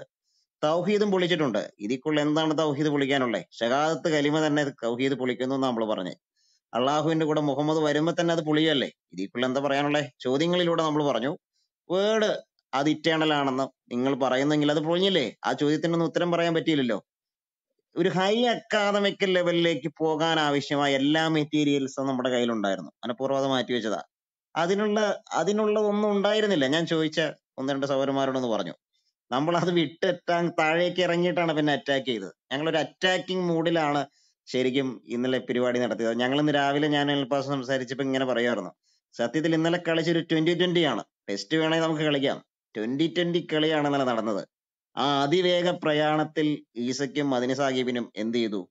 ആ കൺട്രോൾ നഷ്ടപ്പെട്ടു. ഓടി എത്താൻ പറ്റിയില്ല. എന്താ ചെയ്യേണ്ടതെന്നൊരു കൺഫ്യൂഷനിലേക്ക് വന്നു. ഇത്രയും പരിതാപകരമായ അവസ്ഥയിൽ മുഹമ്മദ് ഈസയെ ഞാൻ കണ്ടിട്ടില്ല. ഞാനും അനിൽ പാസ്റ്ററും പലവട്ടം ഈസയായിട്ട് സംസാരിച്ചിട്ടുള്ളതാണ്. അനിൽ സാറിന് അറിയാം. അങ്ങനെ ഒരു പരിതാപകരമായ അവസ്ഥയിൽ ഈസയെ ഞാൻ കണ്ടിട്ടില്ല. വളരെ നിരാശാജനകമായിട്ട് നിരാശനായിട്ട് ഈസ സംസാരിക്കുന്നതായിട്ടാണ് എനിക്ക് മനസ്സിലായത്. ഒരു കോൺഫിഡൻസ് ഇല്ലാതെ സംസാരിക്കുന്ന ഈസയാണെന്നല്ല കണ്ടത്. അത് അത് കൃത്യമായിട്ട് ഇന്നലെ എല്ലാവർക്കും മനസ്സിലാകുമായിരുന്നു. അപ്പം ഈ സത്യത്തിൽ മുഹമ്മദ് ഈസ മനസ്സിലാക്കേണ്ട ഒരു കാര്യം ദൈവത്തെ നമ്മുടെ ഈ യുക്തി വെച്ച് അങ്ങ് അളന്ന് തൂക്കപ്പെടുത്തി ആ യുക്തിക്ക് അളന്ന് വെച്ചേക്കുവാണ് മുഹമ്മദ് ഈസ. മനുഷ്യനെ മനുഷ്യനാണ് മനുഷ്യൻ വൺ പേഴ്സൺ ആണ്. അതുപോലെ തന്നെ ആയിരിക്കണം ദൈവം എന്നാണ് പറയുന്നത്. അപ്പുറത്ത് ഈ യുക്തി നമ്മൾ പ്രായോഗികമാക്കുമ്പോൾ അവിടെ കരച്ചിൽ ഉയരും. ഈ മദിനി സാഹിബിന്റെ കാര്യം എന്ന് പറഞ്ഞാൽ വളരെ പരിതാപകരമായി പോയി. എന്ന് പറഞ്ഞാൽ ചോദിച്ച് ചോദ്യത്തിന് ഒന്നിനും ഉത്തരം പറയാതെ മൂന്ന് ചോദ്യത്തിനും ഒന്നിന് പോലും ഉത്തരം പറയാതെ അദ്ദേഹം പറയുന്ന അനിൽ കൊടിത്തോട്ടം ഇങ്ങനെയാണ് പറഞ്ഞത് സിജോ ഇങ്ങനെയാണ് പറഞ്ഞത് അവരങ്ങനെയാണ് അവതരിപ്പിച്ചത് അവർക്ക് അതിന് ഞങ്ങൾ പറഞ്ഞതിന് അവർക്ക് ഉത്തരവില്ല എന്നൊന്നും പറയാതെ ചോദ്യത്തിന് ഉത്തരം പറയാതെ മറ്റ് വിഷയങ്ങളിലേക്ക് കടന്ന് കാട് കയറി പോകുന്ന ഒരു സാഹചര്യമാണ് മദിനി സാഹിബിനെ കണ്ടത്. ഈ ഖുറാന്റെ ആദ്യ അവതരണം എന്ന് പറഞ്ഞ പരിപാടി ഇതിലും ഭേദമായിരുന്നു എന്ന് എനിക്ക് തോന്നുന്നത് മദിനി സാഹിബിന്റെ കാര്യം. അപ്പൊ ഇതാണ് സത്യത്തിൽ ഇവിടെ സംഭവിച്ചത്. ഇന്നലത്തെ സംവാദത്തിൽ സംഭവിച്ചത്. സത്യത്തിൽ ഞാൻ മനസ്സിലാക്കുന്നത് നമ്മുടെ സഹോദരന്മാരൊക്കെ സഹോദരന്മാരും സഹോദരിമാരും ഉപവസിച്ചു പോലും പ്രാർത്ഥിക്കുന്ന ആളുകൾ ഉണ്ടായിരുന്നു. വളരെ വലിയൊരു പ്രാർത്ഥനയുടെ പിൻബലം നമുക്കിതിൽ ഉണ്ടായിരുന്നു. നമ്മുടെ സഹോദരന്മാരുടെ അധ്യധ്വാനം ഉണ്ടായിരുന്നു.